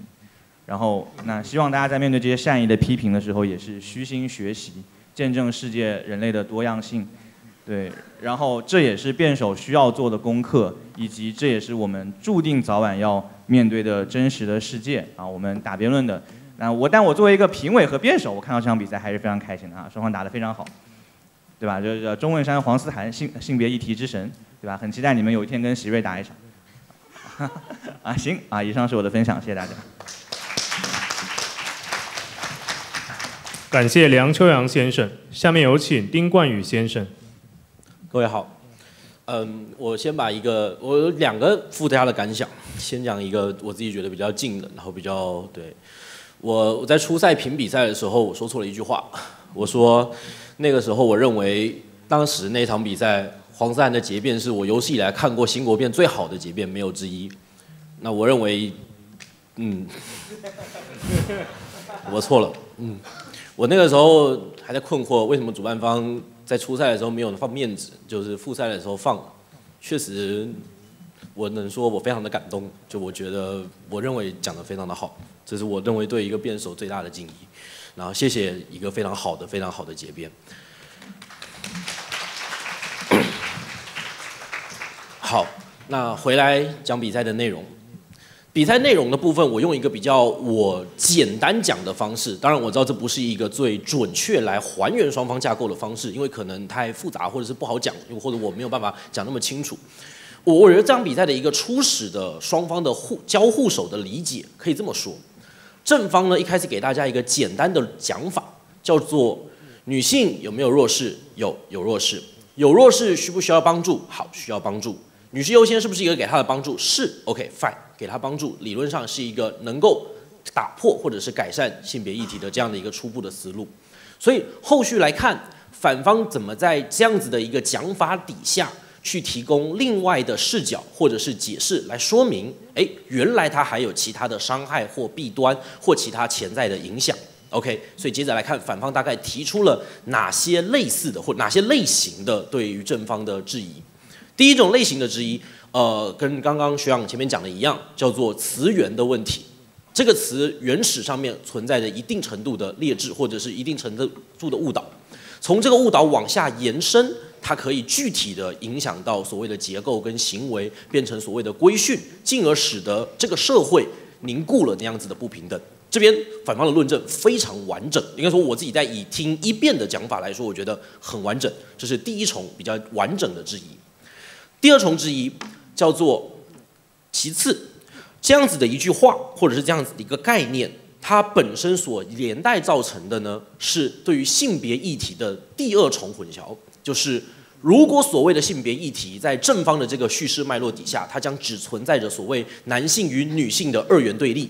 可惜，所谓真正意义的性别议题是多元的，所以但凡被你诉说成二元的说法。那你就会丧失所谓多元的可能，进而使得有一部分人的权益会受到打压，这是第二重的质疑。所以往下来看这两重质疑有没有形成对正方的伤害？有一个说法对我来讲，它比较像是支撑跟辅佐，而不像是一个直接的影响，就是恕我只能用这样的方式做解读，叫做反方试图想要区隔两个概念，一个呢是纯粹的去攻防或者是沟通所谓的概念层次的问题。第二个是想去聊语言层次的问题，也就是即便概念如此，语言也不该如此叙说。这个讲法我只能说在这场比赛里头中不是那么精确的被理解，可能是因为我认为反方在这场比赛中，但凡认为语言误用的场景，无非是基于第一种质疑，认为这是一种对女性的矮化，认为这是一种对于女性的过度保护。那一样，它是潜在前者的。或者是这是一个强调二元的场景，那就一样，它就会进到第二重。所以概念跟语言这件事情的界分，使得它对这场比赛来说不是特别重要。那接着就来看这两件事情的交手，到最后我的落点怎么判断？第一重要处理的东西叫做，所以到底这一个所谓良性的性别歧视，它到底存不存在，或者它有没有真的形成对女性的压抑？这边我的理解了，正方最早的一重交锋，从正方的四辩所提出来的，叫做我们聊的是当代的使用，当代的使用概念里头中，正方很快的、很直接的已经点出了一个在正方的理解中叫做正确的使用方式，所以到这边为止，的确也如同反方后续认可的，叫做好。那如果有两种使用方式，那我们两种都讨论。到这边的前提之下，可以有一个明确的意识哦，是所以。语言这回事不用完全继承过往的使用方针，或者是即便有过往歧视精神所造成的负面影响，我们也都是后续来去看怎么做比较跟怎么做评价。前提这个地方，我的理解叫做反方留给正方一个使用的空间，在使用的空间上，后续做的攻防，我觉得反正方做的一个明确的切割来处理反方的资料的讲法叫做。你所有去论证，或者是所有去形成那个后续的规训跟结构的讲法，是不是都是基于如果它是一个善意的性别歧视，才会推导出这样的后续的讲法？好，那我正方正确的使用，到底在你的理解里算不算是善意的性别歧视？我的认知中，我不觉得正方有回应，也就是给予女性选择权这个讲法，到底是不是一种对女性的过度保护？如果不是。那善意的性别情势都仅止于后层次的攻防，也就是后面的比较脉络，而跟前面无关。也就是在正方的讲法里，就叫做我有一种方法可以告诉你，你不要那么使用女士优先，你可以像我这么去使用女士优先，如此这个社会会变得更好。我们要不要这么做讨论？在这个地方，我只能跟反方沟通一件事情，叫做我觉得正方点出了第二重的讲法，这个讲法对反方来说应该是致命的，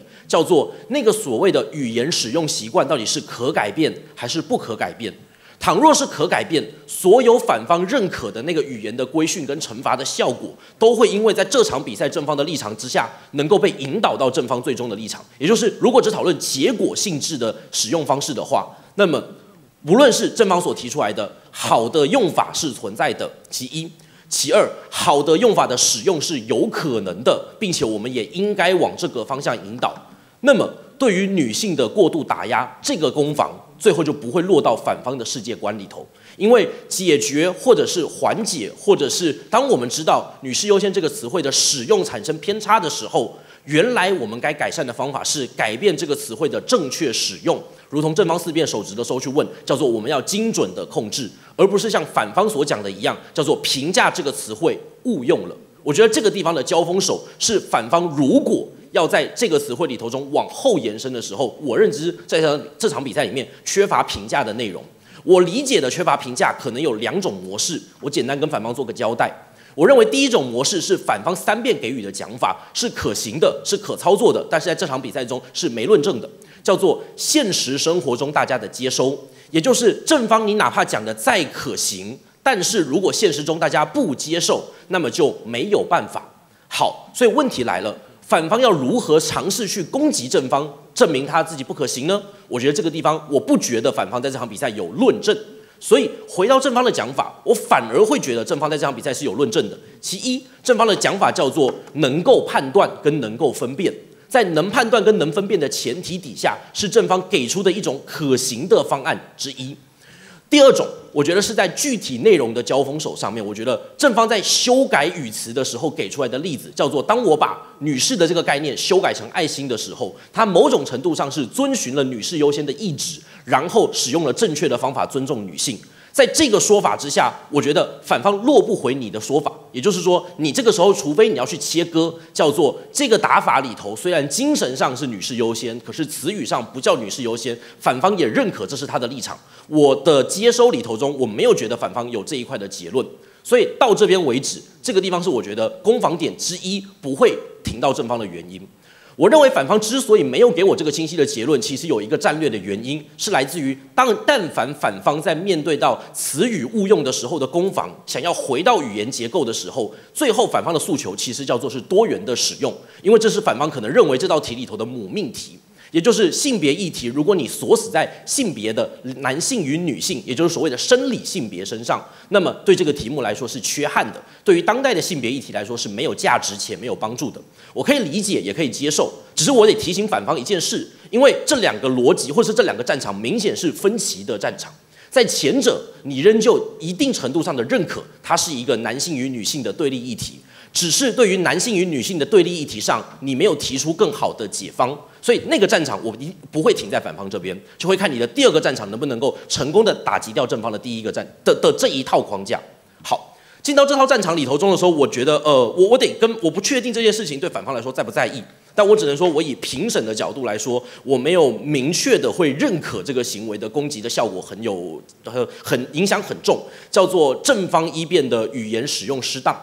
正方一面的表述，我可以替反方这个做出我的评价，就是我觉得可以是适当的。可是你要说正方一辩的表述于此，所以他认为这道题里头中，他就是忽视了所谓的其他性别少数，亦或者是其他缺位的在性别议题中的潜在人群吗？嗯，我不能做这个保证，或者是我不觉得能用正方一辩的表态当做是一个论证。所以这个地方是回过头来提醒反方第二件事情。在反方的第二个大战场里头中，反方想要的做法叫做：当我们诠释叫做“女士优先”的时候，这句话明显的会得出第二个结论，叫做排他，排除了其他的弱势群体。我先暂且不提反方的论证，我先提正方的逻辑回应，叫做：为什么在正方的世界底下中所提出来的其他族群，我不能都说？我的认知底啊，我只能说我的认知里，我没有明确的觉得反方在这个点做回应。没有明确做回应的原因，我理解可能是因为当正方举出来是用类比的方式来去询问反方，妇女及儿童同时保护的时候冲不冲突？煤矿工人跟军眷同时保护的时候冲不冲突？反方好像误以为这个类比因为跟这个题无关，所以把这个攻防划过去了。可是，即便这个类比跟攻防的底层逻辑无关，那应该回到反方身上的困境也仍旧是。在逻辑层次上面，正方能够说明，好像当代社会人群能够不不混用，或者是不排他的使用这些词汇的时候，反方要自证的东西叫做我们已经产生了误用。在这场比赛里头中，反方对于我们误用的结果怎么论证的呢？我觉得在这场比赛的判断里头中没有明确的论证，也就是但凡使用女士优先的，比如说国家也好，比如说社会也好，明显的生产了那一些对于性别气质少数人的蔑视，或者是轻视议题的轻视的倾向，它应该不是在这场比赛里面有出现的举证。所以这个地方我只能跟反方解释说，这个点我收到了，可是这个点确实以交锋的逻辑来说，不是一个你们有自证的东西。另外一个，我我得提醒这个东西，我不觉得是一个判点，可是我得提醒反方几个在技术操作上面的时候的明显疏失。如果大家有记得刚刚邱王邱王提到的那个概念，反方三遍在提到的时候，那是一个非常微妙的讲法。你注意，当你说到为什么 black m a t 那个 black m a t Life Matter 跟 All Life Matter 这两个词汇或叙事之间会产生极大的悬殊差异的时候，我觉得反方同学某种程度上也要。回头思考一件事：当如果你觉得“女士优先”这个词汇被使用作为所谓的多元气质或者是多元新规优先的时候，它其实应该一定程度上的也是相较之下忽视了这个社会女性可能有弱势的事实。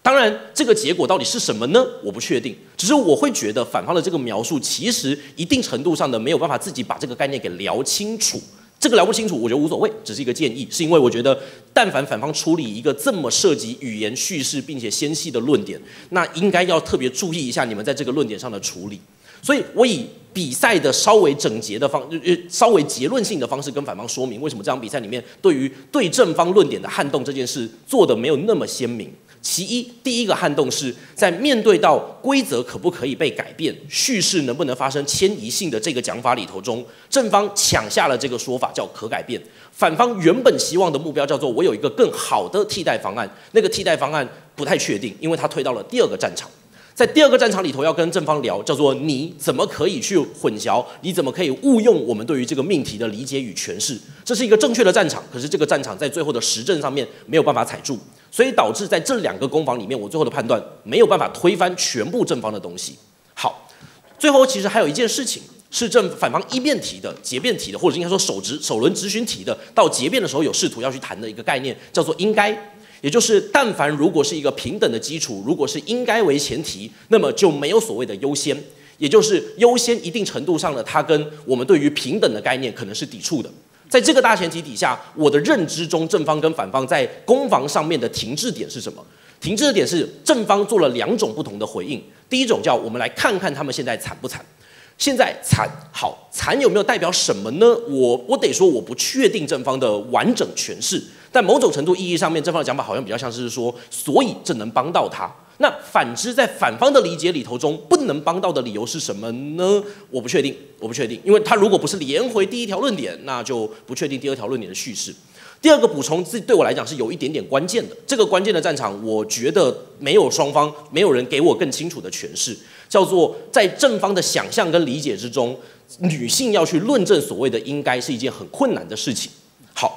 以下是我的补充，补充就意味着我不觉得这应该是正方在这场比赛里面有论证的东西，只是对我来说到那边为止，我觉得那个那个说法是停下来的。正方的意思好像是说，但凡要去能够论证的，应该那个标准应该都是都都会是一个客观、可明确、可观测的数值。比如说，当我们提到百分之九的配额是不合理的，或者百分之九的这个数字是不合理的，那有一个应该合理的数字，那个合理的数字是什么呢？不确定。可是你会发现一件事情，叫做如果叫做本应如此的论证方叫做现在的女性那一方的话，那这对他来说是一个相当高的举证责任，因为我很难去论证什么叫做我本应有的权利，因为我本应有就是我从未得到，而我从未得到就是我并不认识，我并不认识的时候，他就不不不很难出现在他的语言跟话语体系之中，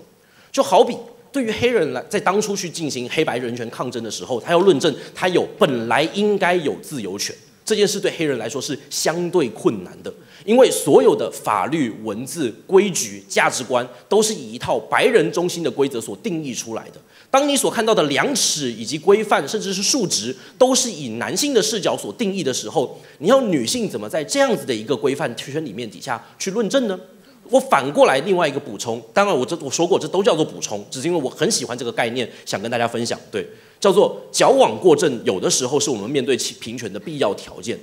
是因为在面对有的时候所谓的弱势，并没有我们明确对于正的一个清晰的理解，所以我们只能试图矫枉。当他试着真的超出了某些平权的边界的时候，也许回头争抢，那才是一个可以走的道路。在这场比赛里面，我理解中回到比赛了，对不起，啊分享完了，回到比赛。反方中好像有想谈一件事情，在一辩稿里提了，在结辩里头提了，但是确实是不清晰，叫做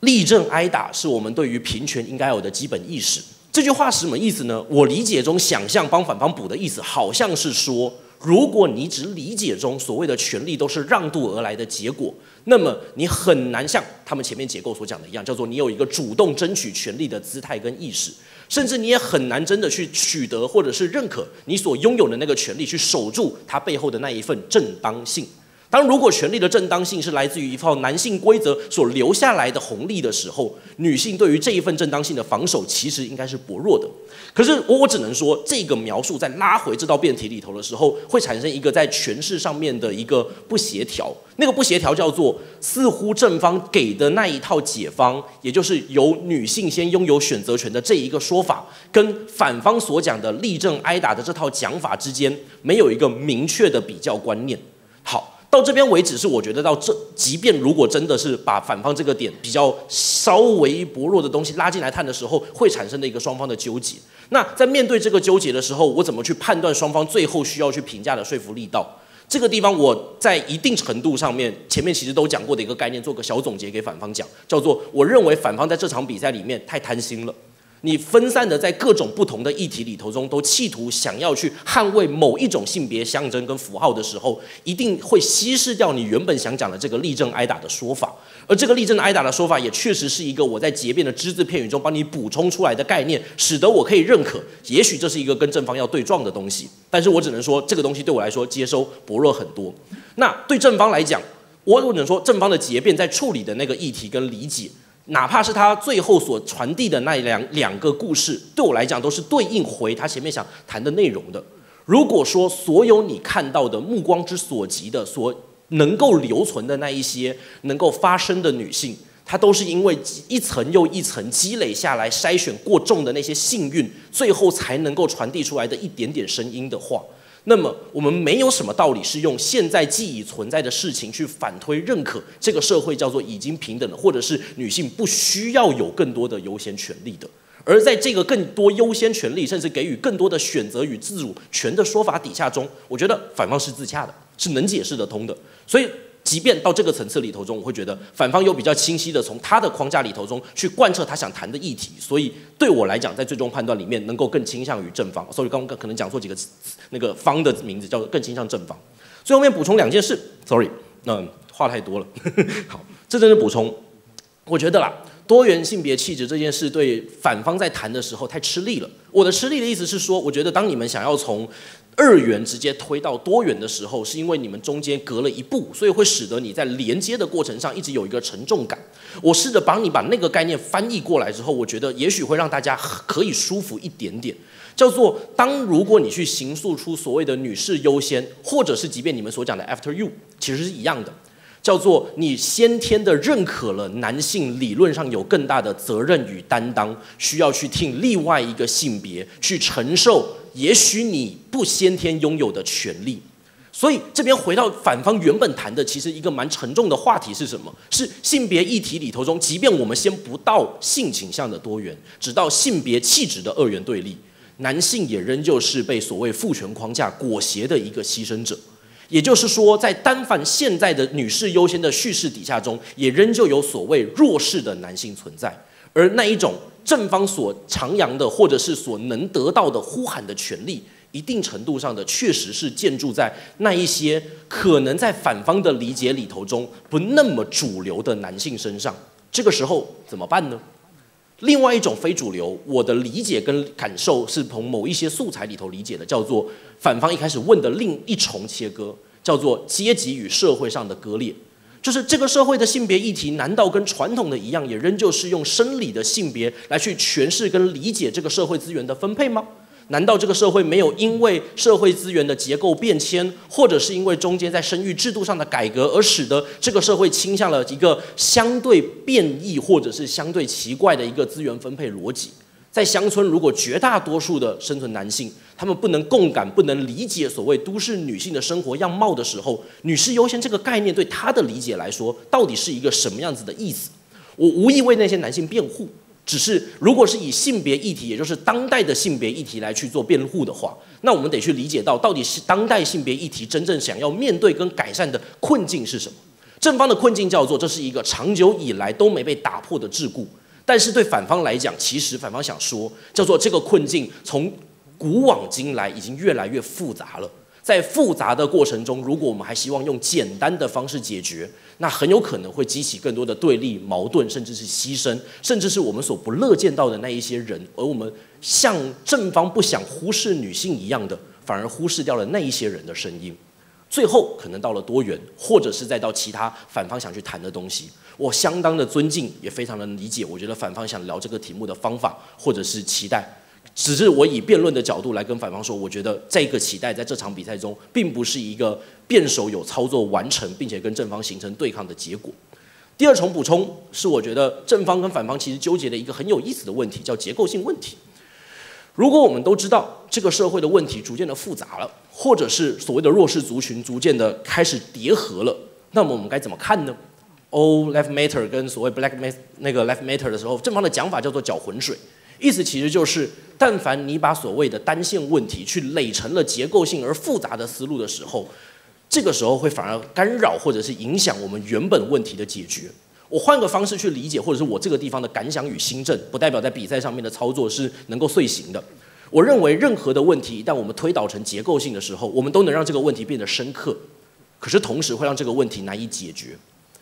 任何的问题，当我们去叠合、去反省，告诉大家这个社会是如此的复杂，这个社会的弱势是如此的灭小，如我们是如此的去忽视了那一些社会不曾听到的声音的时候，对这个问题一下都鲜明了起来。可是你该怎么下手呢？不知道。正方一定程度上在做的东西，就叫做如果我能够抽丝剥茧，各线各线的单路解决，确实简单而粗暴，但是它会不会是一种解决方法之一呢？我不知道，我只能说这是我的心得跟理解。我会觉得这个分歧可以是一场这场比赛里面也许能谈的东西，但确实没有发挥出来。好，最后面一点补心得的补充，这个就跟论点无关了。是我说过，我很喜欢正方的论点，我也很喜欢正方的整套框架跟操作，只是。也如同刚刚邱望学长所说的，我也能够或许的想象，可能我相对之下没有那么在乎弹幕的观众，而更在乎各位辩手的认知与理解。有一句话，可能我作为评委，哪怕被大家闷，会被大家骂，但我也觉得无所谓。我觉得正方所提的那首歌里头有一句歌词，不论是针对正针对反方，sorry 反方同学提的，不论是针对反方的同学，或者是针对这场比赛可能因为这道辩题而被骂的选手，我觉得。没有必要为了谁而去做改变。生而为人，没有人有罪。当大家就是为自己的权利伸张的时候，我们都是值得骄傲的辩手。谢谢大家。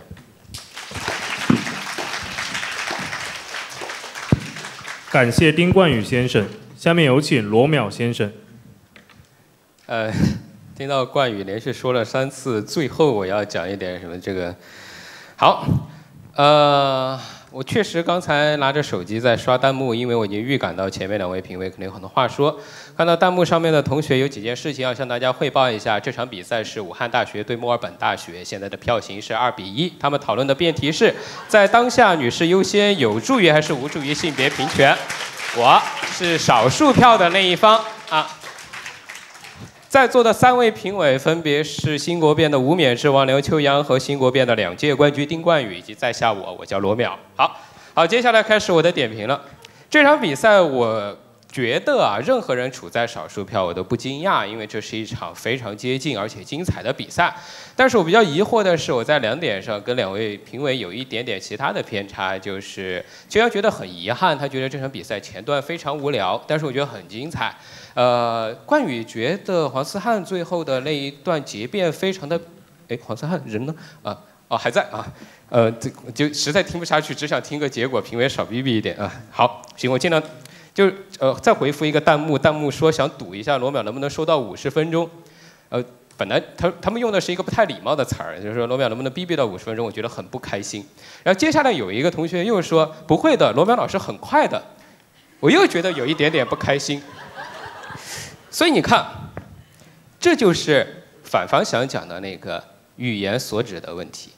当你说这件事情的时候，当你在用 “bb” 和“快”的时候，你几乎无法忽视一个词语背后承担的观念和批判和评价。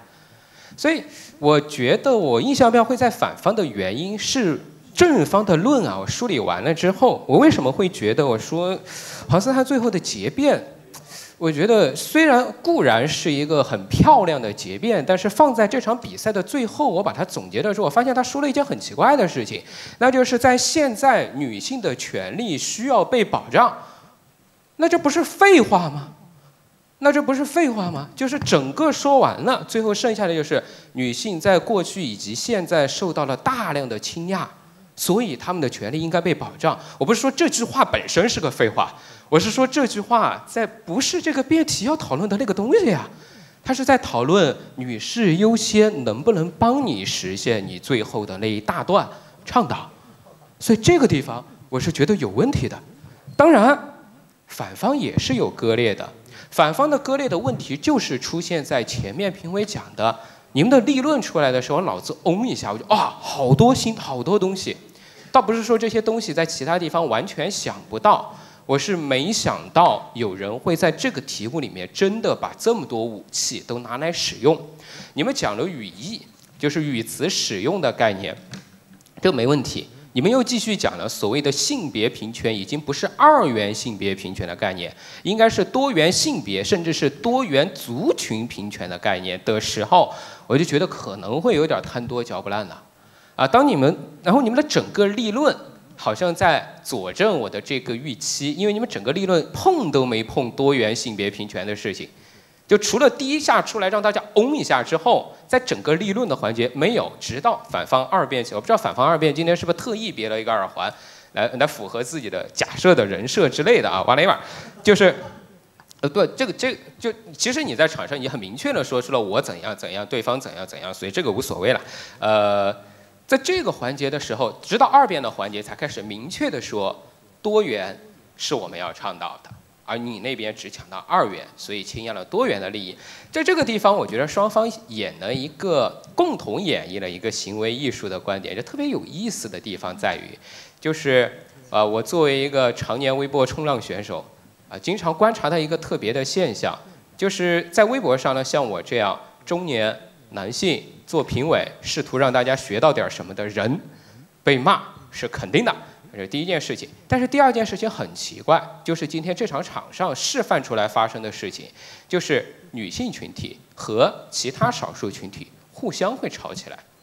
互相说对方的倡导没有照顾到我的利益。在这场比赛中，其实用这种行为艺术的方法体现的蛮有意思的。女性花了大量的时间来给这边解释说，我没有要侵占你利益的意思，我们只是共同要对付那些丑恶的男人们。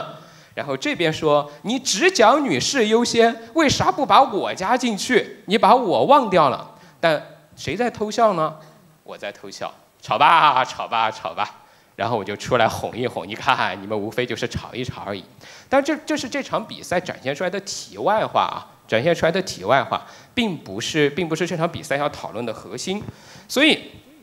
反方的内容是这样的，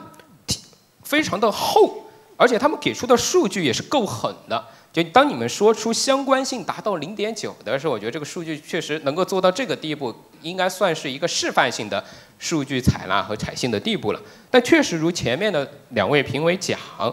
这个数据做到这儿，后面不太使用了。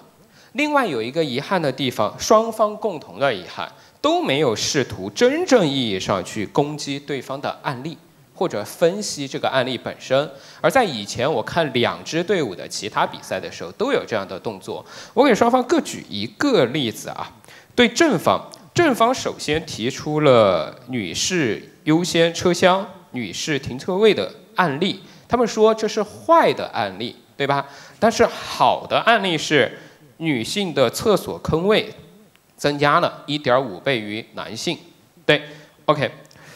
呃，但是武汉大学在立在整个讨论的过程中提出了一个非常非常清晰的观点，叫什么叫好的女士优先，就是给女性选择权，而不是强行给她优先权，这提提的非常清楚。我的疑惑是。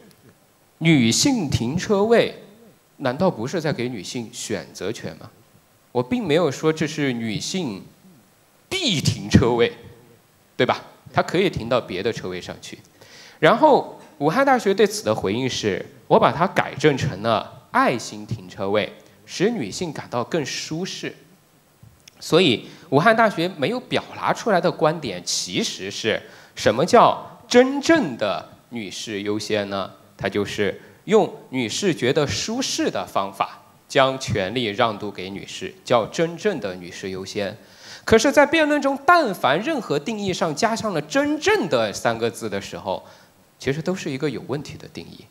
所以，正方其实是在讲什么样的女士优先有助于性别平权呢？那就是剥离了不无助于女性平权的那个部分的女士优先有助于性别平权。这句话当然是对的，这句话当然是对的。那接下来的纠缠其实发生在武汉大学在努力的向大家证明这些事情是可以被剥离的，这些事情是可以被剥离的。但是我觉得你们证明它可以是剥离的没有问题。但是你得告诉我，“女士优先”这个口号有什么独特的作用？不然我听上去你只是在告诉我女性应该被照顾。那 so，那“女士优先”这四个字加上引号存在，帮如何帮助你实现的这个目标呢？我觉得比较同意刚才说的丁冠宇说的“矫枉过正”的这个说法，它应该有一些更多的作用才对，而不仅仅是一个心理上的预期。所以这个地方我觉得是有问题的。反方这边我举一个案例啊，你们说的那个 lady first 变成 after you 的问题啊，嗯，我觉得这个地方奇怪还不不在于不在于呃，就是不在于他把 lady 这个词拿掉了，或者说不在于他呃翻译成中文该怎么翻译。我觉得问题是这话是被谁使用的？After you 是被谁使用的？如果它依然是一种社交礼仪，使用方依然是男性对女性说的话，那其实你并没有做任何的改变，无非是把那个词拿掉了，它依然是一个专属于男性对女性说的词。所以如果是这样的话，你只只拿掉一个词，或者只把女士拿掉，这个有有有任何问题吗？有有有任何真正意义上的注意吗？我觉得不是的。啊，再来啊。呃，稍微稍微补充一点点，就是，呃，你们说的奥斯卡的那个例子，其实我我不知道你们是事前有准备还是临时想到，我觉得这是一个很好的例子，因为这个很好的例子里面，它它它在那个奥斯卡新政里面，它规定的新政不隶属于任何特指的性别，而是特指于它规定了大概将近十种吧不同的群体。任何一个群体的比例都做了非常细致的规定，然后规定你在一个电影的拍摄成组里面，每一个比例的人数必须要达到一定水准，不然你不能参加奥斯卡的评奖，无论你这个电影的艺术水平有多高。那其实这就是一种矫枉过正嘛。那为什么我要把单独把这个例子说出来说呢？是因为我听到了一丢丢啊，就是在反方四辩质询正方一辩的时候，他想说这么一件事情，他说。中产阶级的女性对比低层次的男性，如果你用女士优先的话，会不会使得真正需要被关照的低层次的男性的利益被忽视了呢？这个其实说复杂了，就是就就太贪太多了。这个其实说复杂了，为什么呢？因为在奥斯卡的这个案例里面，会不会使得那些？其实没有力量去雇佣那么多少数群体，但却拍得很优秀的电影，没有办法评奖呢？当然有，当然有的，对吧？那要不要这么做呢？要的，其实就是你最后说的，只有挨打立正这件事情。所以，好，这样解释之下，在我这边收到的信息，武汉大学告告诉我的是一件当然正确的事情。但是没有给女士优先一个更好的作用。墨尔本大学给的我是一套非常丰富，让我脑袋嗡了一下的立论。但是因为贪多教不烂，所以你们后半段的那个最后的那个结辩，在我看来依然是剥离的。就你花了大量的时间渲染，这个大量是一个相对大量啊，相对大量的时间在渲染少数群体的利益，在这个口号中被倾轧。我脑海里面的图像，那就是女性和同性恋吵起来的倾向。这个并不足以帮助任何一个群体往前推进，而且因为铺陈的不够多，在后面片面的讲这一点的时候，我会觉得，那你前面那些东西与你后面讲的这个东西的勾连在什么地方？而且正方是给了解释说，呃，正方给了解释讲，我们并不会倾压利益。呃，这个地方插一个小点，就好像前面两位评委对拥军优属、军属优先的那个案例，觉得是正方得益。可是在我看来，我觉得反方的解释是到位的。我觉得这确实是一个无关的、无关的类比，或者是不必要的类比。因为呃呃不说了，反正这个这个不展开讲了。就是我这边是听这一点。嗯，最后一件事情就是前面交代完了，就我印象票投在反方的原因，我觉得交代比较清楚。虽然剥呃补充两句吧，虽然是剥离的，但是你们的点我是 get 到的，你们真的在做这件事情。呃。最后我补充一真正的一点点，第一件事情，呃，反方今天可能因为时间有限，颇有一点把复杂问题想要简单化的倾向。就是我知道在语言上要去纠正一件事情，其实是首先你们要说明两件事情：语言为什么需要被修正？第二件事情，语言应该怎么修正？你们今天只说了第一件事情，没有说第二件事情，对吧？How to？那不是说，请大家以后不要说女士优先了，这事儿就搞定了，呃，搞不定的，搞不定的，大家还会继续用。正方其实提供的另一套方法，就是我们继续说这个话，但是背后代表的意思完全不一样了。不过这个方法不一定能也能实现。这第一件事情，我想说的是，这个第一个点啊，我觉得特别有意思，就是很多时候。呃，我在网上看到有一些女权主义的发言的时候，我心里会第一时间的不舒服的原因是他在试图从常规语言表达角度入手来告诉我不应该这么说。我的第一时间的反应，真实的跟大家汇报，我的反应是关你屁事。比如说，我最我一个最典型的案例是这样的，呃，女子本弱，为母则刚。会有人说这句话是非常不正确的，因为他在暗示两件事情，就是女子本弱嘛，不能强大；第二，母亲就应该强大。这两件事情在暗示，他的道理是对的，我是能接受的。但他第一时间来说你千万不要这么说的时候，我会觉得我的善意没有被尊重。就是我说这句话的出发点是善良的，我在歌歌颂母爱，而这件事情恰恰是反方想讲的那个善意的歧视。善意的歧视的特点不在于它是一个工具，而在于歧视者本身并没有觉得自己在做一件坏事，并没有觉得自己在歧视，所以这个事情需要绕两个弯儿才能明白过来。所以也紧接着有第二件事情，反方最后讲的立正立正挨打的事情，就是这个世界上咱们乐观估计一点，必然还是存在着一些男性他是尊重女性的权利的，可是。在争取女性平权的过程中，有办法把这些男性区别出来，不予以打击吗？就他们有可能不被误伤吗？我觉得不太可能的，终究是有一个误伤的可能。如果我自诩自己是这么一个男性的话，那我就一定会承担误伤。那我应该用怎样的态度来对待这样的误伤呢？历史上，我这个性别的人犯了错。现如今我自己没有做什么错事，但是我却要为过去的错误买单，应该还是不应该？我觉得反方给出的态度力争挨打，没有办法，这是一个过程，矫枉过矫枉过正的过程。呃，对，这是一个矫枉过正的过程。我觉得这个呃，我能 get 到是这个意思，没什么问题。呃，第二一个想要补充的是。我我我看我看怎么总结这个语言啊？我就是这个题在当下女士优先有有无助于性别平权？性别平权这个议题其实讨论了好多好多年了，其实讨论了好多年了。从我自己打的不是第二场就是第一场校赛开始，啊，那是一个可能在周帅看来很年轻，但是在各位看来很古老的年纪，呃，那那那那。个时候讨论的辩题就是妇女的解放主要靠男性觉悟还是女性的觉悟？我讨论的辩题，我讨我的持方是主要靠男性的觉悟。呃，从那个时候开始就讨论了很多年。呃，我我我不觉得这些年有有什么本质上的改善，我不觉得这些年有什么本质上的改善，基本讨论的议题依然聚焦在女性是不是多此一举，男性究竟应不应该让渡更多，女性的待遇有没有更好，中国女性的地位是不是地球上最高的，等等等等。我不觉得，但是我想给大家另外一个方向的建议，就是大家今今天在举例子的时候，确实确实举了很多就是女性需要被被拯救、被照顾、被额外关爱的例子，但这个无关于双方的论点，有另外一个方向。就是得做事儿，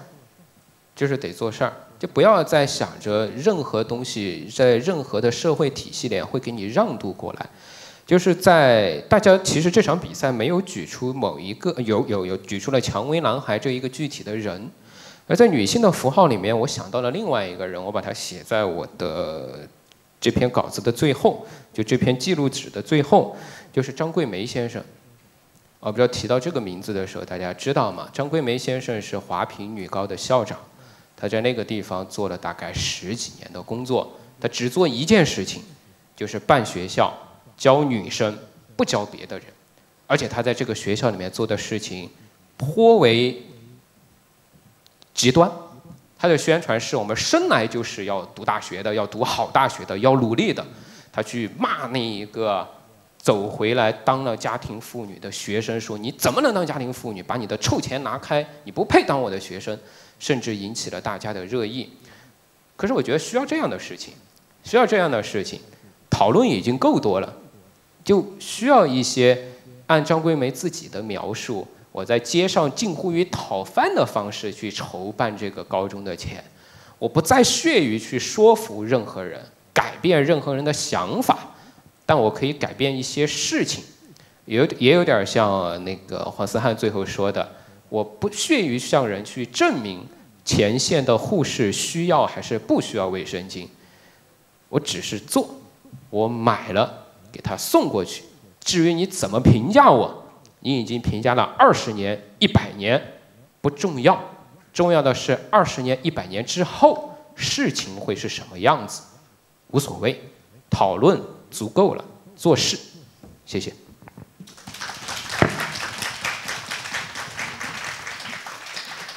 感谢罗淼先生，请问各位评审是否还需要补充发言？呃，我觉得学长说的第一个点非常打动人，然后所以说服我了，我第三票会跳到反方，没了。你不要不要讲出来。干。那我也补充一下，就我我不会跳，我不会跳，就没有没有改变而已，对对？我只是附带补充，就是对我来说不太影响我刚刚对于交锋的梳理跟判断，所以就还好，对。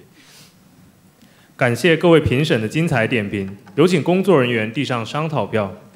有请三位评审填写第三轮商讨票。再次感谢三位评审，有请移步台下就座。比赛结果已出，首先揭晓的是本场比赛的最佳辩手。他是来自正方代表队的四辩黄思涵同学，恭喜您！下面我将为大家宣布国际华语辩论邀请赛复赛第三场的最终结果。第二轮环节分数票，丁冠宇先生投给了正方，罗淼先生投给了反方，梁秋阳先生投给了正方。第二轮投票的结果是二比一。第三轮商讨票，丁冠宇先生投给了正方，罗淼先生投给了反方，梁秋阳先生投给了反方。第三轮投票的结果是一比二。加入第一轮印象票的最终结果是正方五票比反方四票，让我们恭喜正方代表队赢得本场比赛。同时，让我们以热烈的掌声送给本场比赛的八位辩手。感谢他们为我们呈现了一场精彩的比赛。